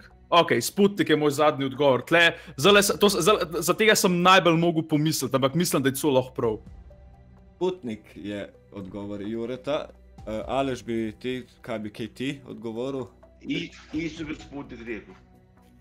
Pa tudi, ja, Zdaj Vostok in Sojus, to mislim, da je tudi povezano nekaj z Rusi, nisem 100%. ja, vse besede so take. Mislim, da Big Bang, Sovjetske. veš, Big Bang Theory si gledal, veliki pokovci. Uh, in Howard Volovic, ko gre v nebo, mislim, da gre prav s kapsulo Sojus ali nekaj takega, da se. Nisem pa 100%. je pa tudi dejstvo, da je Sputnik tudi neki bil. Ne? Da je zdaj te govora o satelitih in ne o Ja, ja, ja. ja, ja. ja. milimeter, ne? tako da kot je lajka, ki je pes, ali pa če nisi lajkal stream ali pa se subskrbal. Jure je rekel Sputnik, Sputnik, Sputnik, Putin, odgovor je pravilen, Oh, se razbija. O, o. Naša A, mala klinika pico si delal, ne? Evo, vidiš. Je bila Kaj? na- naša mala klinika pico si delal neki, ali kako je. ja, ej, uh, dejansko priporočam, zelo dobro. Čekaj, to si dal iz one prve epizode, nisem pogledal video. še Iz, ja, ja, ja, ja. Ej, splača, video je full dober, ampak tudi ta pica na koncu je full dobra izpadla, kar je dejansko podaril idejo za video, ker ideja je bila, da ne bo dobra. a ne. Evo, vidiš. Ampak dejansko ta čokolada a veš, če tako mal, mal izpari, pa se pa tako lepo umeša zraven sira, da je pa tako mal sladkast, pa šteta rata pa taka trda, ja, malo se skaramlizira gor in je dejansko tako, kot da bi bil nek meso zraven, ostalo je pa itak navadna pica in je dejansko ful, res zelo dobro. Pač, Ideja, Zabavtka. ja, jaz sem sicer, ajš kaj je, jaz dejansko po Dober. mojem, da za v restauracije bi bila, iskreno, vsaj kršno tako. Bavdek si razmišlja, da bi kakšno pico naredil, pribavtko pice, evo. Na peki gor. Se dela, se, se dela tudi pice. da so- Delaš? se- Aha, ok, ok. de- Delika, delikatno, ko se hitro sežge. Ja, Mm. Italijani, kdo jih razume? Zelo Ja, ti. pico. Ne znam italijansko. Sputnik je bil tudi res? cepivo, cepivo proti COVID-u, ja. Je, a ne, ker jaz sem te prvo to bil, a ni bilo to nekaj takrat v 22 ali 21, so vsi skozi govorili. Ja, tudi je bilo. Ja. Deveto vprašanje. Pavdek, imaš še Ja. eno moč, je pa vprašanje tako. Kateri državi pripada Nova Kaledonija? Španiji, Portugalski, Veliki Britaniji ali Franciji? Nova Kaledonija. O. Še nikoli nisem slišal za Novo Kaledonijo. Še manj. Nova A res ne? A ni tako, da ti futbal spremljaš? Mislim- sem Preko, videl- če kaj veste o športu, če kaj ne veste o športu, lahko mene vprašate, da lahko pač To je zanesete. neka, to je država. No, Nova Kaledonija. Ja, dobro, vem, kje se nahaja. bi ti mogel vedeti. Vem, kje se nahaja, mislim, da vem, pod kaj spada. Nisem 100%, ampak. Ne, hej, a lahko, a veš, kje jaz to vem? Jaz sicer zdaj ne, mo a, ne morem povedati, ampak bom, Pol, okay. bom, bom, če Bavdek ne bo vedel. Ali pa če bo vedel, bom vsem povedal, iz kje vem. Katera država pripada Novi Kaledoniji? V bistvu, ali lahko kar povem, iz kje vem, vse da bom povedal Ajde, izgovora. sklepeš. I- i- Iz, uh, ni bil Top Gear, iz Grand Toura, Top Gear no pač. Aha, ok, si bila v Ja, oni so bili tam na njihovem zadnjem specialu, zdaj, jaz gledam pač, ko ven prihajajo. V prevodu je itak, mislim, da ni v Caledoniji. Velika, Velika Britanija. Si za Veliko Britanijo, Ja, paraš glas ljudstva za konec. ja. Zadnji odgovor, Velika Britanija? Z- Zadnji. Kaj bi rekel ti, Jure? Jaz bi rekel Francija. Francija. Zaradi tega, ker je bila tudi tam fora, da je to najbolj južni del Francije, ki so bili nekje tako, ki izgledali kot na Jamajki, a ne? čeprav je, kao, je to francoska kolonija. Kje se nahaja? Uh, zelo, zelo. Uh, to je Zelo dobro vprašanje. Ne, sej, a ška, na mapi bi ti znal pokazati. Ne vem, če gre, ni, ni pod oceanijo dol. Ne. Ja, uh, je, Ali je? jaz bi. Mislim, da ima podobno, Ja, je, lahko, da ja. se motim. Mislim, da je neki podobna zastava kot Nove Zelandije, Avstralije, da ima neko tako modro, ne vem, lahko se motim. Glejte si sami, Velika Britanija. Ej, Ja. Jako je napisal, da so vozili po levi, a desni. Kukar se smo nune epizode, so bile tako slabe ceste, da je bila samo pač v eno smer, pa tako, čist blatna. In samo pač vodi. Ni podobna zastava, ok, pa ne mislim. Sem dosti fuzbalerjev iz tam. Iz Nove Kaledonije. Ja, potem so Ja. pa pač izklenik je original. Pač in, A ja, samo veš kaj, mogoče pa ne piše Nova Kaledonija. Ampak piše država, iz kjer je pač Ampak- pripadala. Pač, Ne, jaz sej, ampak mogoče piše Francija, ne? Ja, ker odgovor je Francija, Velika Britanija je pa žal napačen, napačen odgovor. Ampak imaš še deseto, ker še vedno dosti nosi. Ne, zastaje čistik. yep. Zastavi čak, čak, tik, počnem jaz neko drugo. Kaj? Čak, uh, a deset vprašanje. Ja, ja. Kaj pa poj? Se pa gleda, kdo je dobil največ pik. Zdaj, Aha, okay. Ali še falo na tri, na, na tri ni pravilno odgovoril, torej ne dobi točke od prvega, šestega in devetega. ne. Torej, devek vseh teh, pol naredimo. Ti imaš zaenkrat vse prav. Se pravi, zadnje vprašanje. Ne, ti imaš še, ja, on ima, ti imaš pa še deveto in potem še deseto. Aha, ok. Deveto pa je, kdo naj bi okay. oprostil Balaševiču v naslovu njegove pesmi? Katrin! A ja, sorry, moram počakati. Aha, torej, si, Se pravičujem, največji fan. George, ti, kaj pa ti, Bavde, poslušaš Balaševiča? Ja, pa ne. Bi Ej, vedel, tle. dejansko tle pape je od Dragojeviča, Marina je Pape, od. Pape Dragojča tu poznam. Kat, Katrin je od, v bistvu mislim, da je drač naslov prav, oprosti mi Katrin od, ta, ti, ti nismo mogli napisati tega, od Balaševiča, Marina je od prljavo kazališče, pa kazalište, Olivera pa ne vem, ampak oprosti mi je siguren Katrin. Tako, kako gre? refren? Možda nisem bil fin, mada si mi bila draga. Ti imaš neke komade, ne? Ponosen, Uh, na gremo naprej, gremo naprej, si, gremo naprej. Si, si ponosen na svoje komade, Ne, ampak. Kako si ampak se- sem jih pa s srcem naredil. Kak, eh, ker vem, da ti si tak, ne, torej spremeš itek za bančne na svoj način itd. Kako je bilo tebi skozi to greznico, hejtov itd. itd.? To vem, da si z mojim bratom že Ja, to je bil- nekajkrat- Ja, ja, to je bil edini hate, ki sem ga kadarkoli res dobil. Um, ampak dejansko me je motil, ker je bilo vse, ne glede na to, da ni dobro izpadel, je vse, a veš, par, par tednov, mesec za spisati, uh, dva tedna za um, edit, pa dva tedna za posnet, pa enkrat penga, veš, denarja vloženega, pa unmo sem jo še plesalce, pa unga oldtimerja sposojenega, veš. Ja, to folk ne Um, vidi, ne v ozadju. Ja, ampak ne, vse komat je bil za noč. a ne. Ampak vsem sem bil tako, a veš, ne vem, butne v en Fortnite video, pa ima neko na tisoče ogledov, pa dva Jurija lajkov. Vem, kaj hočeš Pa tako, povedati. vsake tri dni, pa si pa vzamem tako mesec, pa pol, až pa snemalc, pa vse možno, pa v ta pa Orange studio smo šli snemati. In tako, vse je to eden najbolj ogledanih videov, sam je tudi cel video, ima po mojem, krat 50 več dislajkov, kot ima vseh mojih ostalih 420 plus videov skup. To, to vem, kako je. In ker potem še podzavestno pričakuješ ful boljši odziv in je tak odziv, kot si zdaj rekel, ne? in je to je kurac pričakovanju. Uh, kdo za tabo stoji, Aleš, ko te tako snema in to? Te snema friend ali imaš tako, ne vem, sin večinoma, Eh, Sin, eh, ta mali sin me snima, pa širka. ja, pridni. Ja. Ti si tam znaš tako, pa s- ok. Imam pa 766 video posnetkov. In tudi, tudi koliko imaš subscriberjev, skoraj 4 jurje? Skoro 4 ure na TikToku imam 13 tisoč, pa na Instagramu imam momenke 2000. evo. Ti si mislil, kdaj, da boš imel tako ta socialna mreža in vse to? Nikoli. Ne Kako daje pride? Kako pride cajt. Katrin, pravi naš Jure. Janko je dole napisal en odgovor, bi mogel dati kaja. Ne. Ej, nimam pojma, o čem govorite, gremo na. Ampak a, nisem, kvistri na ključno, nisem delal za nobenega. Ja, se, a veš kaj je, karkoli od bivše juge muske, po mojem, jaz ne bi falil, nič niti mal. Tako da ja, Katrin je res. Sploh pa Balaševiča. Pa je, da je tudi Olivera od Balaševič. Ja, a veš kaj je, ta komat vem, da obstaja, sem nisem zid, da je bil od njega. Vem, da je na enem CD-ju, ki ga imam, ampak um, se zdaj sploh ne spomnim, kako gre, pa ostale znam tako v nulo na pamet. Zadnje vprašanje. Zabavtka.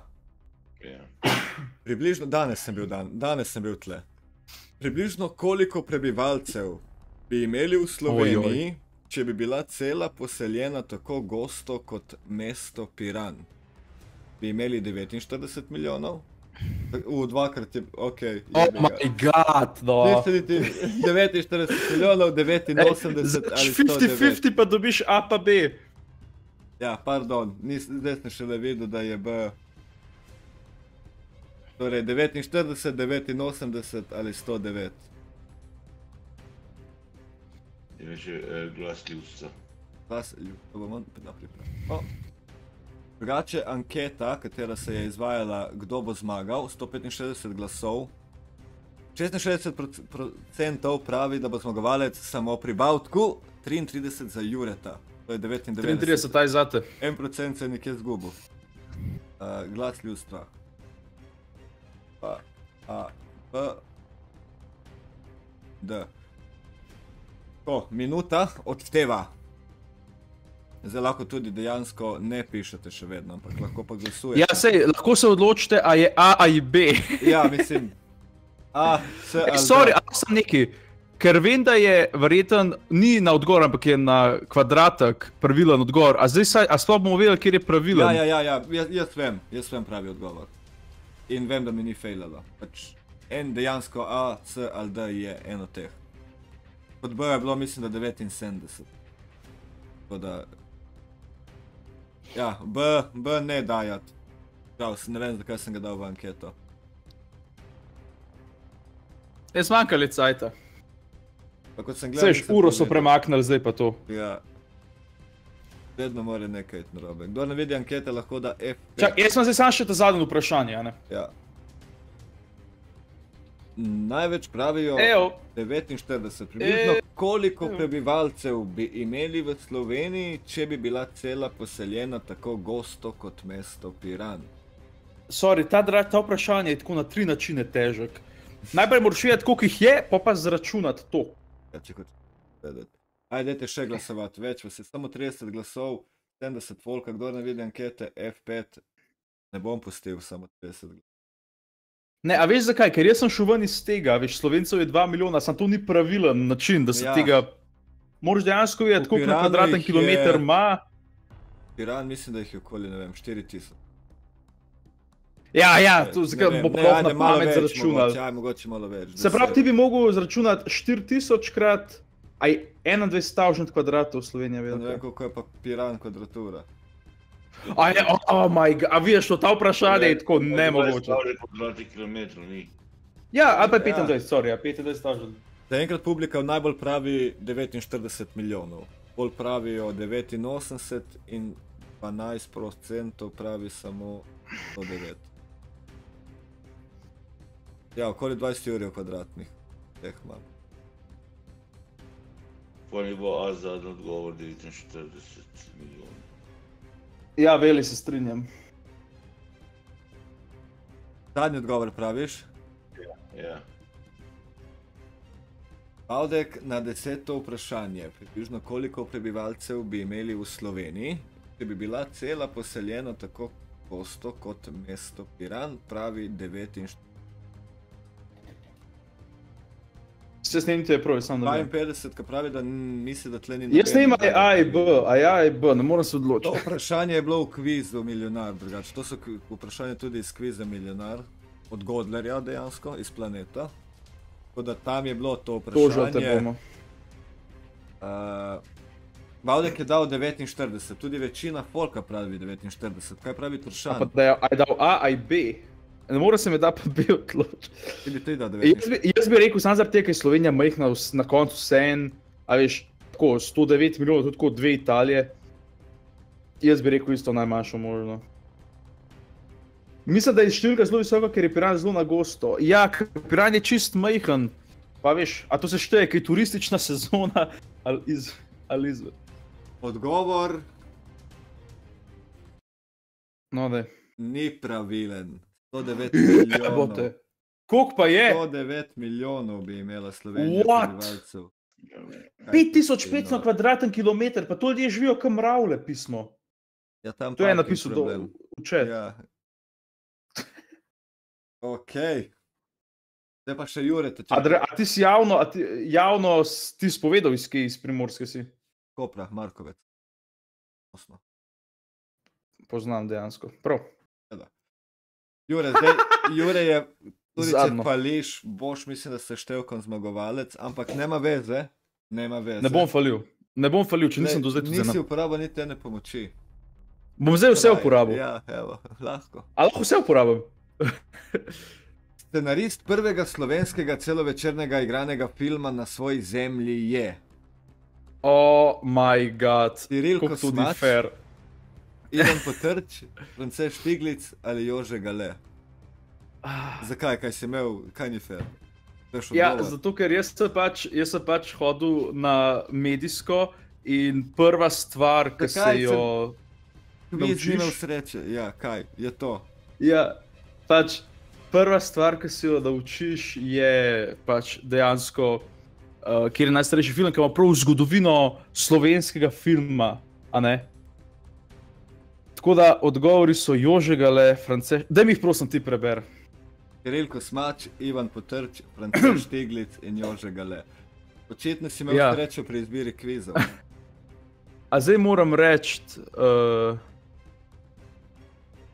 ja, ok, no, Ti bi vedel, Jožegale je. eh, Jože Mavrik, bi Gale je. vedel, bi vedel ti to odgovor za to. Ne, ne, ne.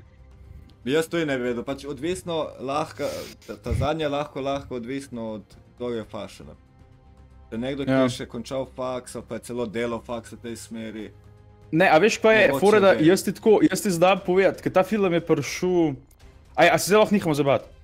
Ja, Mislim, za, za, za to, ker jaz dejansko, jaz sem Bogu, jaz sem bil tu, jaz sem bil predstavitev, veš, to je tako, to je film direkt po vojni, mislim, tako 3-4 leta, mislim, da je 48 film. stari film, to Uh, vem. Ja, Frances Štiglic je režiral, to je sigurno, se pravi, pač odgovor imam, ampak snemali so ga pa uh, v Grapi, veš, no, ej ti ne, gremo v Grapa. Aha, ja, ok. Ja, in ima dejansko en komik, en, en mojih najljubših, Marticko Kokošar, šel Aha, da poznam. ima dejansko foro, da še danes isto zgleda, kot je takrat leta A, to 48. se spomnim, to je v Kopru. Tako da mislim, Frances Štiglic. Ja, v Kopru zato ker ima on sam 5-4, ampak ga imam vse rad. Torej, tvoj zadnji odgovor je Frances Štiglic. Tako. Na fora lahko damo še polovičko. Ti si do Frances Štiglic, to je zadnji odgovor. Ja, In ni. Scenarist. kako? O jebote, ja, to je pa Jože Gale. Ja, No, daj, zato, ker fuck to you. si prej rekel, ja, se prej si rekel. Ja, da, jaz, si jaz sem imel predstavitev iz tega filma. Si je- rekel, model je- Ne, dejansko si rekel prej Jože Gale. Karkoli, te, lej, jo, lej, karkoli. Se pravi, to mi je za. Pro... A zdaj si meni vzel polovičko, ti Ja, pujs. pač, Ampak ne, sej si prej si mislim, da si Pač dejansko ona dva sta naredila ta film, Jože Gale, zato ker še vem, ker je bila takrat moja najboljša prijateljica Klara Gale in so jo pač Aha. hecal, če to njen, njen dedi bil. Pozdrav za Klaro Gale. Pozdrav za Klaro Gale. Kaj bi se Mislim, ne glede, ime- bi imel prav, ne bi imel prav, ampak si rekel, narobe, Čirilko Ne. smač. La, čakaj, lahko, lahko imam jaz failano skripto. Ne, for, fora je, da. Fora je, da um, Čakaj, čakaj, čakaj.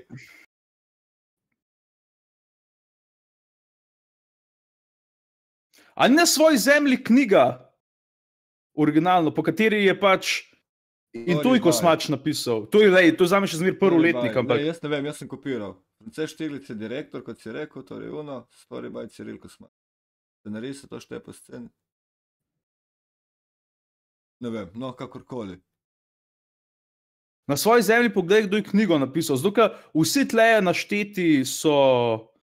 Uh, Zdaj je napisal Cirilko Smač, ja. Na svoji zemlji zvoči cen sceni gre za vojni film, posnet v črno-beli tehniki, režiral ga je France V črno, zato ker ni bilo druge izbire. Scenarij, ja, scenarist je Cirilko V črno-belih tehniki leta 84, a res. Ne, 48. Lej, poglej screen ali pa stream, scenarist je res Cirilko Aha. Smač. Torej pisatelj je nobenem scenarij.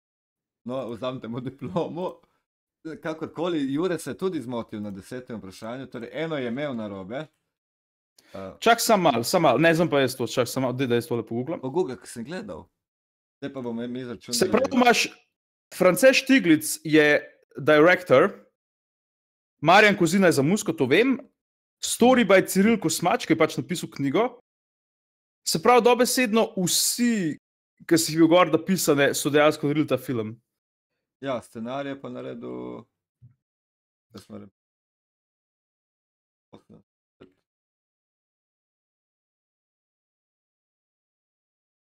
Pik. Broski, valjda, da ne. Avdek je imel 1340 točk. In naš Trkan pa jih je dal več. Prav bol sme zdaj s tem zadnjim. Ja, ker si mi dal vse te, in jaz sem tako bil, jaz poznam vse te ljudi v povezavi s tem filmom iz šole. Ampak predstavljaj si, da bi imel to za ne vem, pravi denar, A ni pravi denar, kaj je moj cash? na koncu zmago, da bi špet vse kartic. Ne, sej, A res? nekaj še na gruntom si. Jure je imel pa 3800, ne, sorry, sorry, ne, to moram dati minus, ker zadnjo nisem pravilno odgovoril. 2600 pik. Jure. Tako da na tej točki en aplauz bom dal sedaj efekt. Jureta, enkrat toliko, da je zmagal. Ja, Bavdek je tudi športno zaploskal. Gale je Tako. igral v filmu, ko smač je scenarist. Da še tretjič preberti. Zdaj sem šele prebral še enkrat, kaj. Sorry, imam strin zamudo. Uh, Bavde, kako ti je bilo? Kakšen komentar? Odlično, ne, pač izkušnja dobra. Upam, da ti ni bilo preveč karkoli dolg čas. je tako- Ne, super, super, super.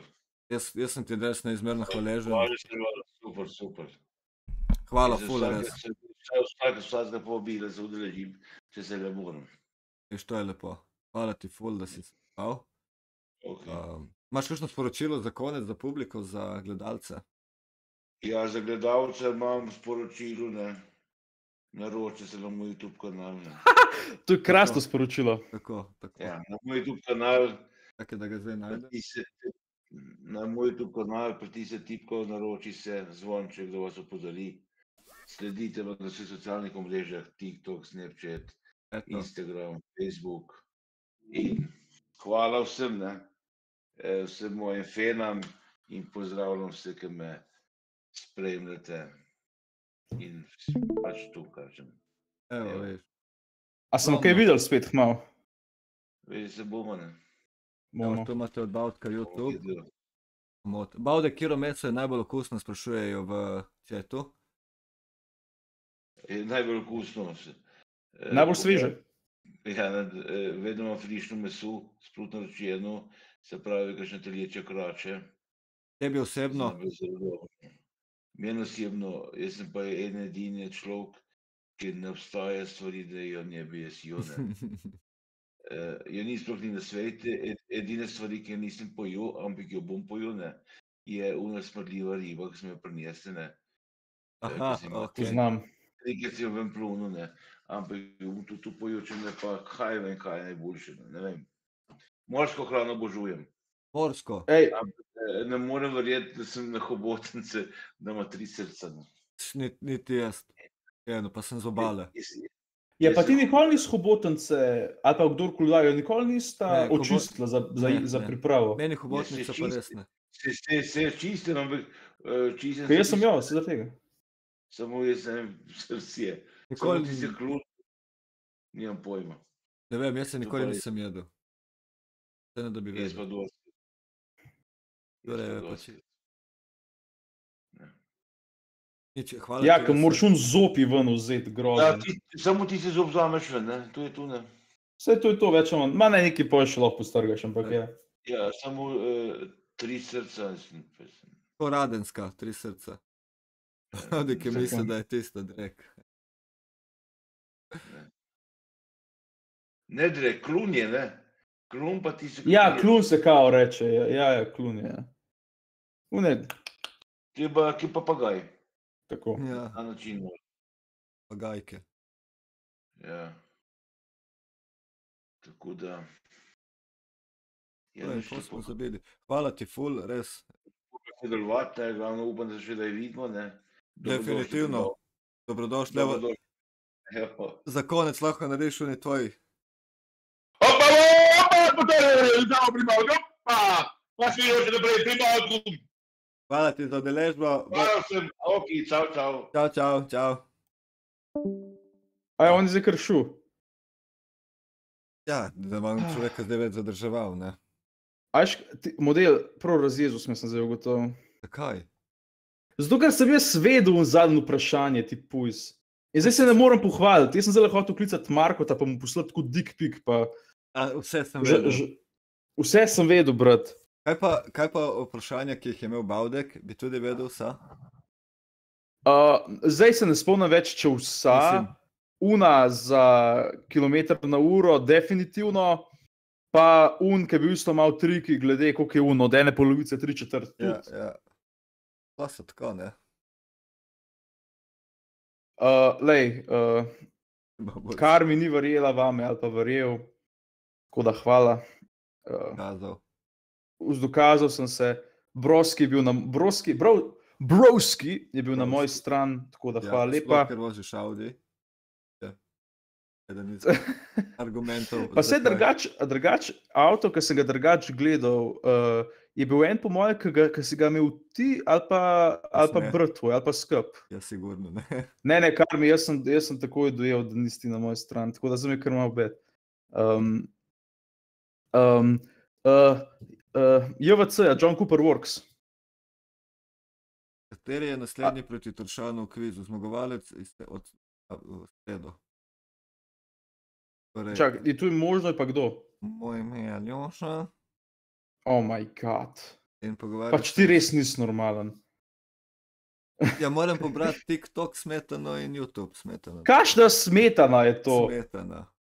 Model, kje so Vlahovič, Kuksala, Balantova, kdorkoli, da pa Aljoša, Tej- pa bo- Julija. tej ne bi mi, ti. tebi ne bi niti odpisali. Ja, ti ne, jaz sem ti odpisal. Ti si skromen. Jaz verjamem, da tebi ne rekli ne. Pisal sem Davidu, ampak David je rekel, da se take stvari ne udeležuje, da niti na podcaste ne hodi, DDD. Z Jušom smo se nekaj v štartu menili, poslov več ni odpisoval, jaz ne bom prosil ljudi. Razumeš? In zdaj Ja. dejansko se Janko je napisal. Jure, nisem videl, da si pameten. Ja, mislim, bolj težko uspeš drugače. Sam pač valjda težko videti, če je en pameten, če je pač zrasel gor na to, da, mislim, kot YouTuber, da je reaktor na smešne videe. Pa, a veš, če si ti komik, ali pa če se ukvarjaš s smešnim komedijo, pa z igrcem, težko zraven izpadeš brihten. a. Ja, ker misli, da ne. Ne, ne, pa ne samo zato. A veš, ker nimaš niti na noben način pokazati, a veš, Ja. ja. kaj naj reagiram na kvantno fiziko, pizda, zastopaš. A tle grdo govorimo, se Ja, upravičujem. lahko. V Fortniteu, kako Okej, pa- pa ne bom. Gradi, ne? Lahko pravim. Ja, ampak, ja, ampak to ni pameten, to ni nekaj, kar nekoga dejansko zanima. Kva, mi že sem pač dobo punco, zaradi tega, ker sem znal graditi v Fortniteu. Ja, seveda, ki si hitro prstke. Oh, to lahko TikTok iz tega narediš. Uh, um, ješ kaj krivšni to, Jure? Ne, ne jem v bistvu nič več nezdravega in zato sem tudi skozi tako slabe vole. Poudarek In... je na več. Ja, podarek je na več. Ja. Ne, se res. Kaj imaš taketno, da je dejansko nek, ki jo ima ta lutka. Koga? A, a to? Ja, medalja. To je športni program Zlati sonček, ki sem ga jaz dobil po mojem v prvem razredu, po mojem edina medalja, ki jo imam. Športni program, ki so jo v bistvu vsi dobili. Ja. Poanta je, sem jaz sem jih še zbiral, da ne vem, kdaj pač faktoval. Jaz mislim, da v finale Jure v Samarko.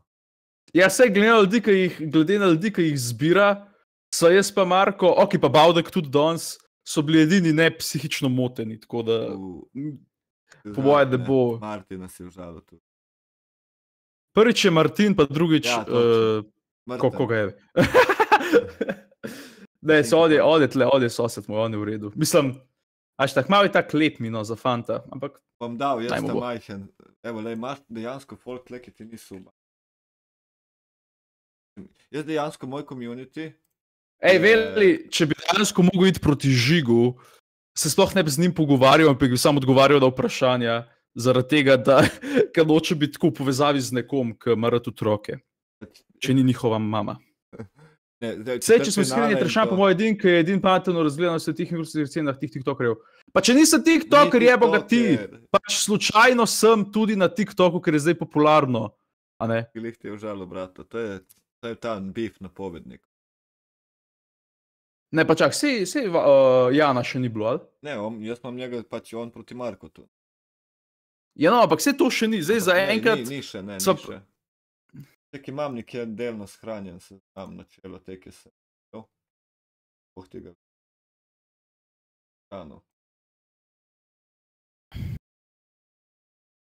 Ej, jaz, a lahko samo, jaz moram samo, a mi daš sekundo, da Pejdi, dam slušalke filat. Pedi, pedi. Kar mi zelo sem razočaran na tabo in ne Aha. sprejem upravičil.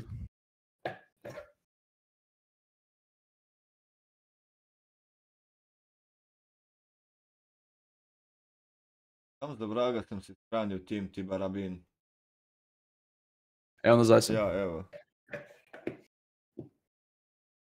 Imam torej dom zdaj streamer, ko je, njega imam.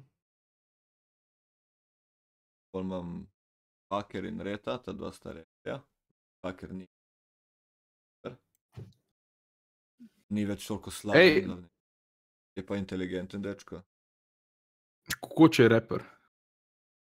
Za rep moraš biti brihten, veš. To, če si ti Ne, slab rep ne. delal in pač Vsega ti tudi, pa Jan tudi. jaz delam, ni rep. Ej, veš kao. Ne, tisto ni nič. Tisto je pač, da sem dobil neki subscriberjev. Ne, čeprav en komat pozna, a jaz sem to ni tvoj. Ti pes, majdemo na ti mrš.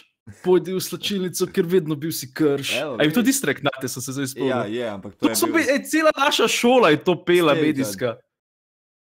To je bil plan v zadju, ampak sem jaz zajebal. Ne. Mi so se kao zmenila, on se meni, jaz kao njemu vrnem in pol naredimo kao trol skupaj, komada je bil tudi taj trolka. To je javnova ideja bila. Ja, in pol na koncu je sam ti si dobil distrek, zelo sem- slab, in to je to. Ja, jaz sem pač fukal.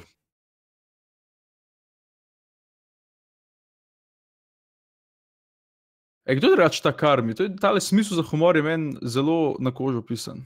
Kar mi je eh, glavni moderator in prijateljica mojega prijatelja in primerja, Arčič. Poznam, um, ni moderatorka. Ali pa moderatorno. Moderatorka. Ni, če vidim, Ne, ne meni, njemu, njegova, glav, A. njegov glavni moderator. Pri meni ni, ne, pri meni ni. Pa se poznamo tudi. prebe tako side mod. Ajde. Ja, nič. Uh, Ja, Jure, kako ti je bilo? ne, sam mal, sam mal. Dobro, vseeno lahko ta čas Mog- govoriš. Kako ti je bilo? Mislim, ti je žal, da si prišel. Mislim, žal. Ne, zakaj mi je bilo žal? Dobro je bilo. No, ok, razen če bi me, razen če bi izgubil, pop ti mogoče reči odgovoru. Ej, the way, a ta na sliki na tam nailu, to dejansko ti? AI. I- i- Se mi je zdelo. Kaj, delujem, mislim. Ne, pač ful lepši. Ja, vem, ja, AI pač. Ej, lej, tako, če napišeš Team Pus na Google, greš tako samo ene par dol in imaš že Prostitution in Hungary 2. Ne seri. Ja, ej, ampak čak ne, ne- nekaj drugega iščem. Čak sem mal, božiček, božicek. Dedek mraz. A si to ti zraven? Tudi.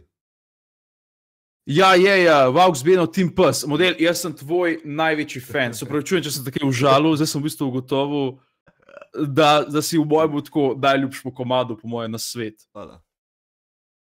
Hvala. To je, to je, Plan za prihodnost, baj da jaz sprašujem veli. A moji plani. Ja, moje, jaz jih nimam. ja, tvoj, ja. Tvoj, tvoj plan za prihodnost. Uh, čak, samo, uh, kar mi je napisala, da reče kakšen video, haha, uh, lih je bil v soboto, včeraj. Uh, čak sem, da vidim, če mu, da vidim, če mu gre. Ker so z domnom pekla uno pico, je Ja, na, je. je na 12,3 tisoč, hm, to je pa kar zraslo, ne zvazen. um, Trying to promote. um, Nikdo ni se tako- subscribe lajkal. tako da pogledajte, če še nisi. Ja, ker ti imaš ta Uh, tvoj, ti imaš tudi nek ta tvoj uh, intro, ki si, ne? Jaz sem čau, folk. Čau, folk, točno, ja, čau, folk. Lepo se. Hej, čau, folk. Ja, Tako. točno, točno. Um, Ampak to sem zdaj, zdaj pač tako, hej, čau, folk, a ne. Ampak takrat sem full pretiraval, ker je bil še Fortnite čas in tako, hej, čau, folk. Um, ja, ta video se full splača pogledati, um, za razliko od vseh mojih ostalih. Plani za prihodnost, le, jaz imam en TikTok, en Reel, en YouTube video vsako soboto zjutraj ob ob 11. ponavad. To je Tvoj ista, plan- ista vsebina, ki gre na vse te platforme. Ali, Ne, ne, ne, ne. ne, ne. Ja, okay. Samo na TikTok pa Reel je pač isto. Včasih sem delal pač TikToke na Instagram, ampak pač ni več pa, um, to Instagram bil fan, da se to dela, ne pa niso več sodelovali. Um, tako da zdaj je pa, zdaj je pa, um, moš pač narediti posebej video, pa ga kaj objaviti. Nekaj cajta sem bil na trecih, pol zaradi ljudi nisem več. Uh, čeprav mi je bil dejansko všeč, sem pač tako. a veš, Jaz ful nisem fan, da imajo ljudje svobodo govora. To ni nek naci šit, boj, če sem tako povem. In pač tam dejansko je res lahko kdorkoli napisal karkoli. ne. In le zaradi mene lahko kdorkoli napiše karkoli, samo pa ni treba tega brati. Ti si sam TikToker, ali imaš kako sluh. Ja. Ej, samo TikToker, to je to. A sprašuj, kaj jih nam na obisk? Mene sprašuješ, Ja, tebe, ja. kam? Kje si ti? Ja, na bled. Ja, bled, bled. Yes. vabiš. Ja, se to zdaj bi uvabil. Ja, pridem. Lahko bi. No, prav. Na bledu sem bil. Každa sem nekaj, ko sem bone koristil. O, to je lepo, lepo ste prišli. Ah, Ja, jaz sem tak- po mojem takrat, ko so bili boni. Ne, ne, ne, jaz nisem originalno, jaz sem se preselil sem. Kaj si pa original, kaj si? Kran, A, prav, center ali okolica. okolica. Poliš. Katerih vasi? Cent, da pa ti bojo vedeli, gre se grafite čez leto. Je pa bil tle, Ja. ski, skisovca. Uh, orehek se imenuje vas. Uh, kaj to ste Ja. vi in še tri bajte. Ta, tak, v bistvu je. Ja. En je optika, ne. Optika je. Optika je. To pa mora biti, ne. Naročite pri Ne, imel sem, dejansko takrat sem, ne, če smete, a smemo omenjati enega sponzorja, se ga nimam več. Ja, ja, se, če, mogoče me pa bo sponzorirali. Um, te dva mi je dal njihov en paket, ki ga drugače imajo samo za firme. In se ga dejansko imel tam na tem orehku, sem imel tako giga uploada, giga downloada, stari bo dal downloadat Counter-Strike, sam Ste videli, kako delajo, ne? Konkurenca, te dva, to vam zdaj strankam govoril. Delam za konkurenco. Bom Aha. rekel, Veste, kako te A, dva vam sme, a, dela? a smeš povedati, kje ali?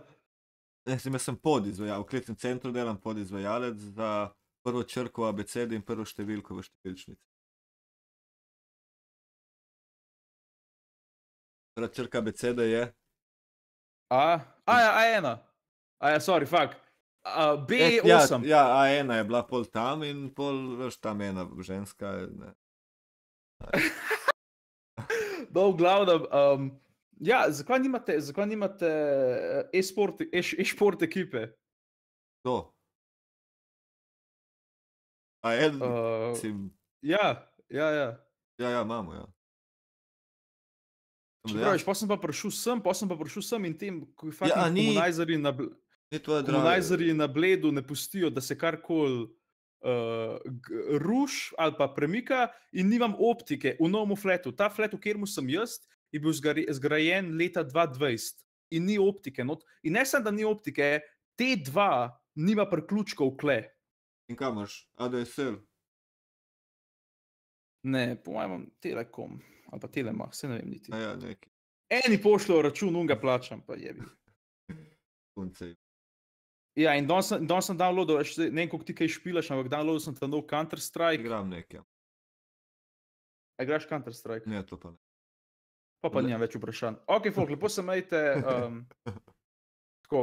Čak, kar bi nekaj napisala. Ja, šmergod, pozdrav. On je youtuberski TikToker, pa to je dosno, pa to je fucking brez veze. Hočeš To šmergod? je... Ta prav šmrgut to? Mhm, to pravi. Kje ga pa ti poznaš? YouTube. Pravi, to pravi. On mi, on mi ima najjačo govorico. Una okolica mi je za poslušati in še kot kakšen pokleješ. Kaj, drž gob. Da ja, kaj pa plani, kar se tiče tako zibanja, ki... Oci. A ti imaš otroke? Ne, se pač pa vprašam, sprašujem. Ja, pa nisi ti tako deset let starejši od Ja, mene. ne, ne, ja, pa ne vem, vi mladi, kaj Ja. sem, kako vi mladi razmišljate. Vi mladi, vi mladi, ti stari nimaš svojega. Te. Sorry, jaz sem tršana, veš, da je una najboljša avto hiša, kjer si ti dajačega Audija kup odpira kavarno zran. Mene pa niso zaposlili, krasno, mogel dejansko nekam drugam. Se pozdravljaš, Margot, drugače. Švrgi, pozdrav tršana, ej, pozdrav nazaj. Čakaj, iz kje je on drugač? Ja, dol kavno, kako je že za Save, posavje, kako sem že rečel. Zdaj bom Ja, nisem žalo, fan.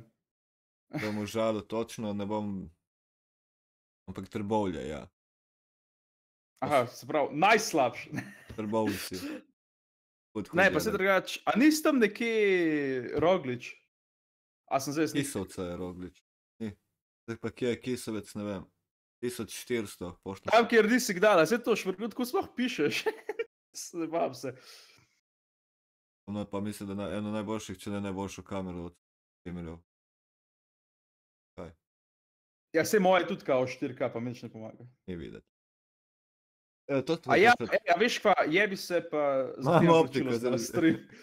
To sem te hotel vprašati, si v najemu ali imaš tvoje? Če si v najemu, me zanimajo najemnine tam. Edin to, ker bled je pač.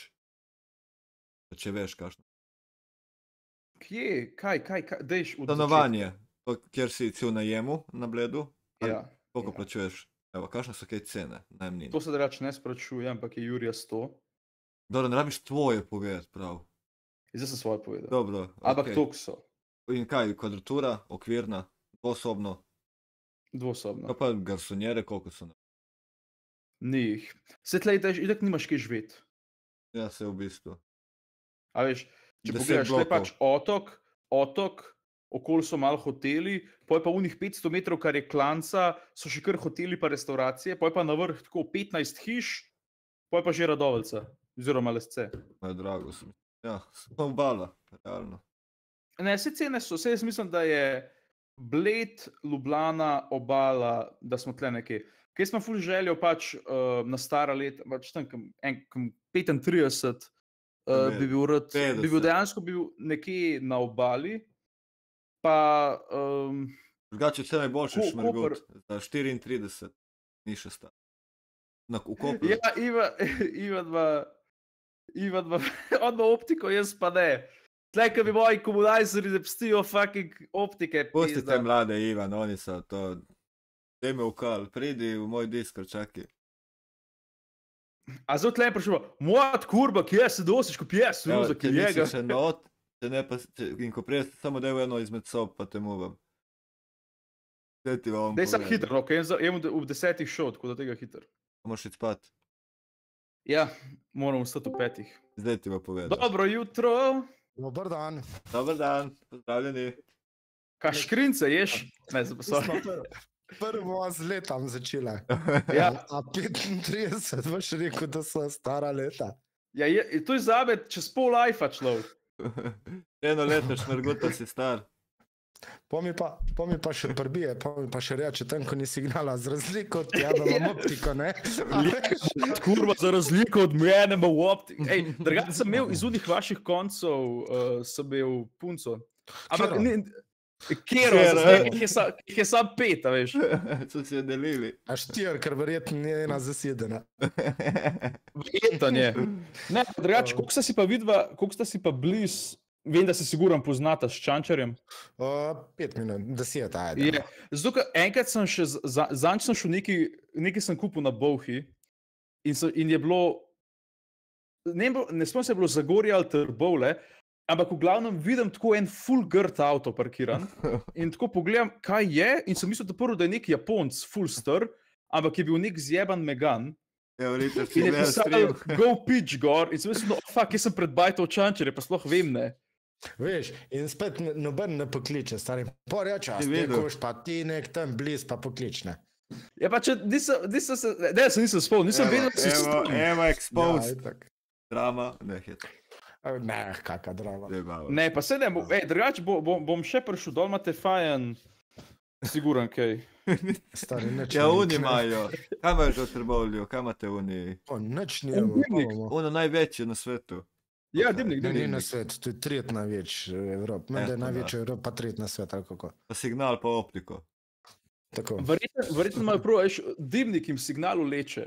Se zdaj greš realno lahko plezati gor, ampak um, glede na to, da priporočam. 15 kg gor, jaz ne prijem do vrha. Ne. Tako da, Ja, pa jaz siguran pridem, jaz kar, jim kar zdaj štartov, da se dobiva čez dve urce. ja, tako pa bomo glih na 14 dni gor hodila, pa dva meseca dol. Čak, ampak aj samo, a se lahko je vmes, aj kakšna postojanka, Ja, to- lokal imaš. tako nas. Ne, imaš, ti imaš tako itak štenge, pa je pol kao uh, taka pleščata, veš, da lahko stojiš mal. Pa gor, pa dejansko spet je- pleščata. Ja, itak, vse imaš vse poslikano. En lokalček odpret. Dajat, Včasih je bilo ful za je, kjer pa mučka neki. vse folki. A stari, ja, zdaj ful rečemo to. A nimajo Merkatorja, stari, mi imamo dva Merkatorja na, ne vem, kilometr razlike. Evo na. Da če se slučajno v enem nimajo, grejo drugega. Tako. Niso, niso kar tako. Tako je, zdaj sem bil na vikendi gor, pa sem opazil, da so mi fucking mizo ukradli. In kakšno mizo pa to imel, poj. Glega nič posebnega, glede zaradi tega mi je čudno, ker sem pušil, tako da. Taki mizo, kako misliš? No, Stari na vikend imam eno tako zraven kamina mizo, tako pač na vrh je steklena, pa pol tako rozfrajdo ali bom narejen.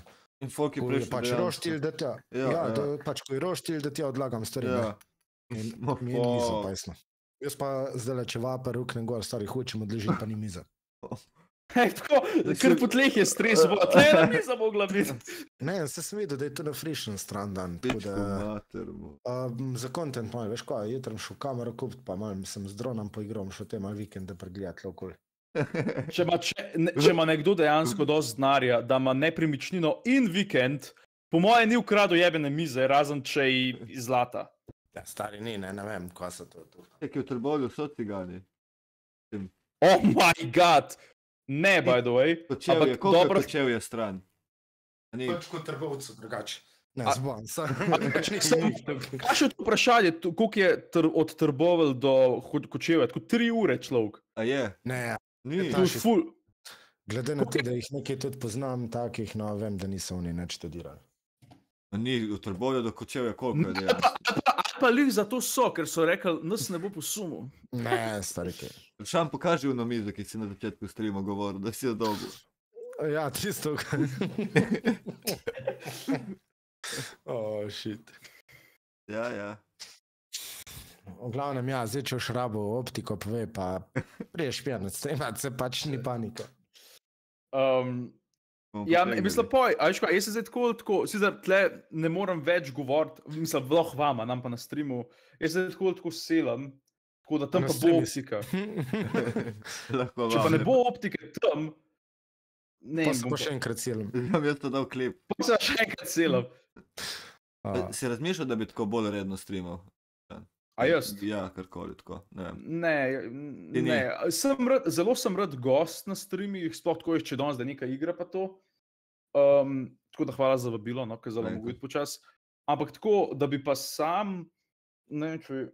Magikaš tako še vedno. Ti imaš okej? tolo roko od bluja, jele? Uh, ja, Jele? Stari, da mi povej mi, kako si to zrihtel, ker Ja, jaz se oddali, kot dol oddali spustim, pa mi Gašper. kar sam dvignil v zrak. Ej, to moraš tako močno zategniti. To, Stari, jaz eh, sem tako močen zategnil, da sem jo zlomil. Presežem ti, pa sem jo spakiral tja v škatla, pa sem novo kobo. A novo isto. Ne, od rovda. Ja, se boljša ti je ta odrovda, ker me je to odrovda. Vse je boljše, ampak glih vidim, stari, in jaz dam tako. Ko Ta gor mikrofon, stari, dam tako mikrofon pred gubic, pa mi ga tako gor. Jaz sem Mm. mm. nad glavo, sem kar gledal, kaj je to lega. Ne, mislim, pa se drugače, sej cena je po moje ista, sam. Ja, Um, isti kurac je, ja, 5 evrov razlika po moje. ja, ja. Roski je napisal, ne vem, kdo več fleksa, ta s vikendi ali da ta živi na bledu. Stari, pusti moj vikend, moj vikend je 4x4 brunarca in čau. Pusti moj bled, moj bled je 4x4. Jaz živim v uni cerkuci na otoku. No. Ti se lahko, ti se lahko pohvališ, da imaš kremšnite po 7 evrov pa pol, ali koliko so. Ja, in- Ne, ampak so pa full, so pa šest, so pa res. Sam, mene ne moti toliko, a veš, cena, kot da jo dobiš preveč. Več. Na kremšnite je fucking 4 tone, tudi tako, taka je, zastopaš. Ni mi jasno, zakaj rabiš tako. Vidiš, sam jam pa pol njihov doda, če je res velika, pa ne vem. Ja, jaz, jaz. Jaz ni evra dobra, pa pač več, niso. Glej mene na streamu, le kakšen sem, mislim, za me je še premalo na porce, po moje. A Den Ja. ja. je tisti tak, da če daš roke na razen, si ko stojal za Ja, infuzijo. ja malo točno to, ja. ja jaz sem Ej, igral v Vejo. Zapuščam pa vas stream, no. Saj Hvala, Jure. Jaz sem sam Hvala vam. mogo skurca Se vidi, signala, no. pa tega, veš. Mat kurba, lega, pjes, ruzaki. Čau, čau. Hvala vam obema, da ste prišla. Ajde, Ja, šver V glavnem, temu živi. Ej, hvala ti enako, čau. Ajde, čau. Čau, čau. Uh, da se jaz vrnemo. Tle.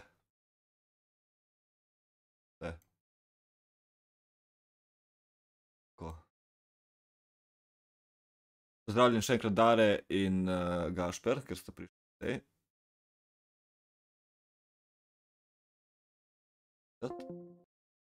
Uh, mislim, da je bil kar dober. Ups, pardon, pardon, nisem vedel, da sem dal napačen. Pardon, pardon, pardon. pardon. Mislim, da je bilo kar zabavno. Tam je zdaj. To še ni lajko, lahko lajka, ne? Hvala, Hedvig, hvala. Planet TV, kdorkoli, lesem.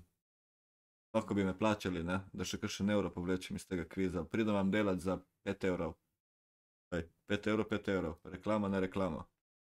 Iz kviza v kviz se bolj in bolj pripravljam in se učim. Hvala še enkrat, Jure in Aleš, če jemljete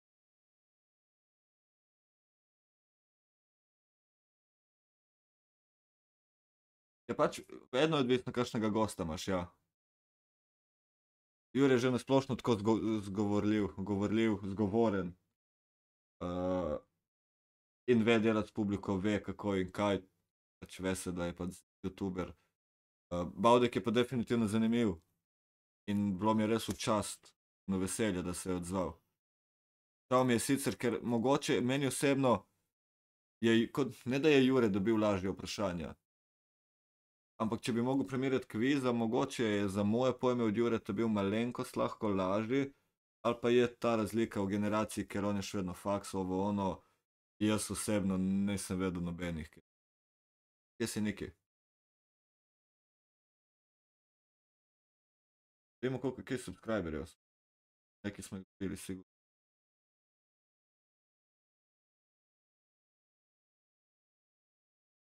Štiri je 350, 20 subov. Razlika v generaciji, ja, definitivno. Ampak nisem namensko nič karkoli, ne. Nisem imel namensko, glej, pač jaz sem vprašal, kdo bo začel prvi, kviz ena je bil za onega, ki začne prvi, kviz dva je bilo za onega, ki začne drugi, ne. Lepo je bilo, ker noben ni nič kaj goljufal. Pa razmišljam, da bi RP. Sicer mi bo uničilo povprečje streama, ali dobro, kaj. Čakaj, da bomo. Pojďte.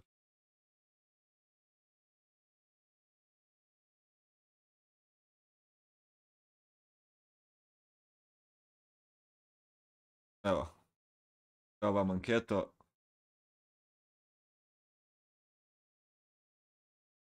Dejansko, Janko, ja.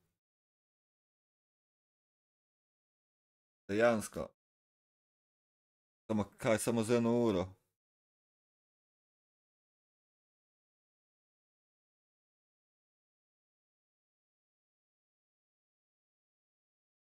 Jo, Tiksi, pozdravljena.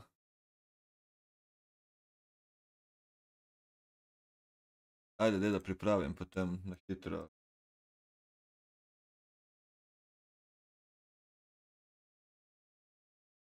Meni stream je dobra ideja, realno. Saj to sem tudi, to je lepo, da smišljamo, ne, veš, vas je pohvalil, community vas je pohvalil. Da ste zelo zrel community. Tako da bravo, boysi. Šesti zjutraj. Nisem plačan za to.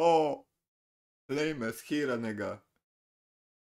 Kaj lahko osemnajsti čim prej. Grem jim sunce, kako grejo počasi te dnevi. Te pa res grejo počasi. Da ne bo si v green bar, hvala ti si za en evro.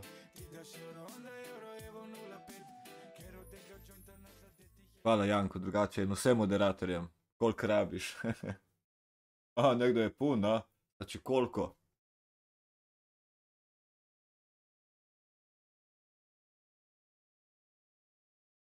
Iščem neki cover foto.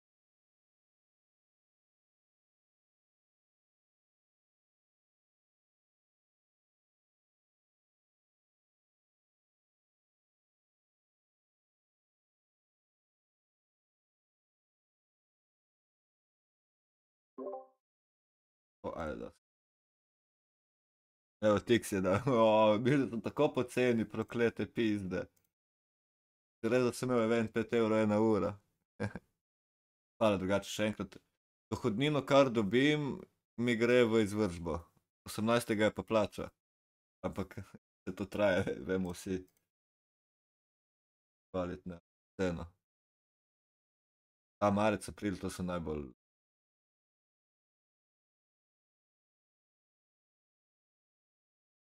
life.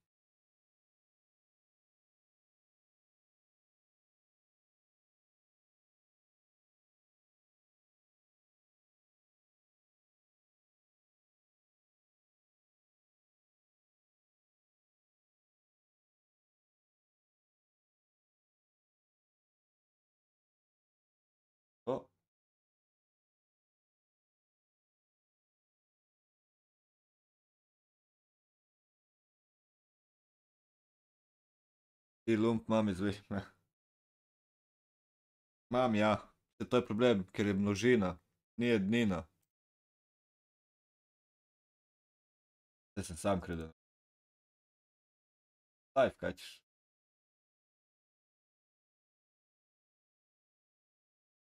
Kaj ti stroški kurčevi? Najbolj me je zjebalo, pač žal smrt Blake, ko se je zgodila in takrat un, un je bilo najbolj. Ja, se to, verjamem. Jaz sem jih imel, sem se jih rešil in zdaj so pač spet prišle.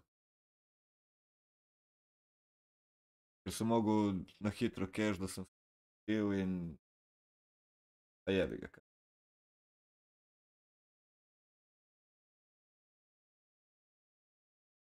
Tako da se razumemo, ne. Imaš to, kar si narediš. Mesto jokat, treba zrihtati. Zdaj bo premjera, tako da bomo šli mi res nov stream narediti. Da si tisti, ki hoteli gledati roleplay, boste vabljeni.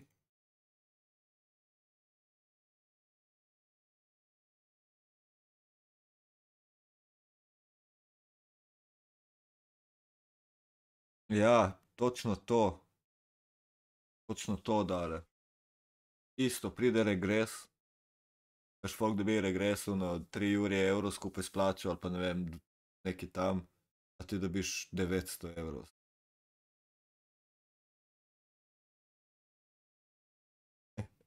Ja, pa kaj si rekel? A sem ti, ne? Sem se držal pogodbe, pete tam po lajkače. Hvala svetek. Zdaj, po tem streamu gremo takoj še malo roleplayat, leh kakšno urco.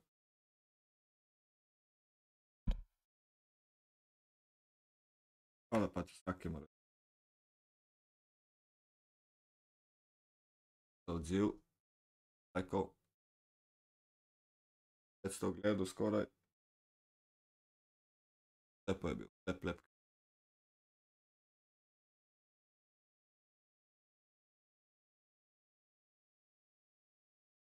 Pete na ono premijero. Sve će ne vas preusmjeriti, tako da gledamo tam. Se počutim kot event, 5 evrov ena ura. Se gledamo.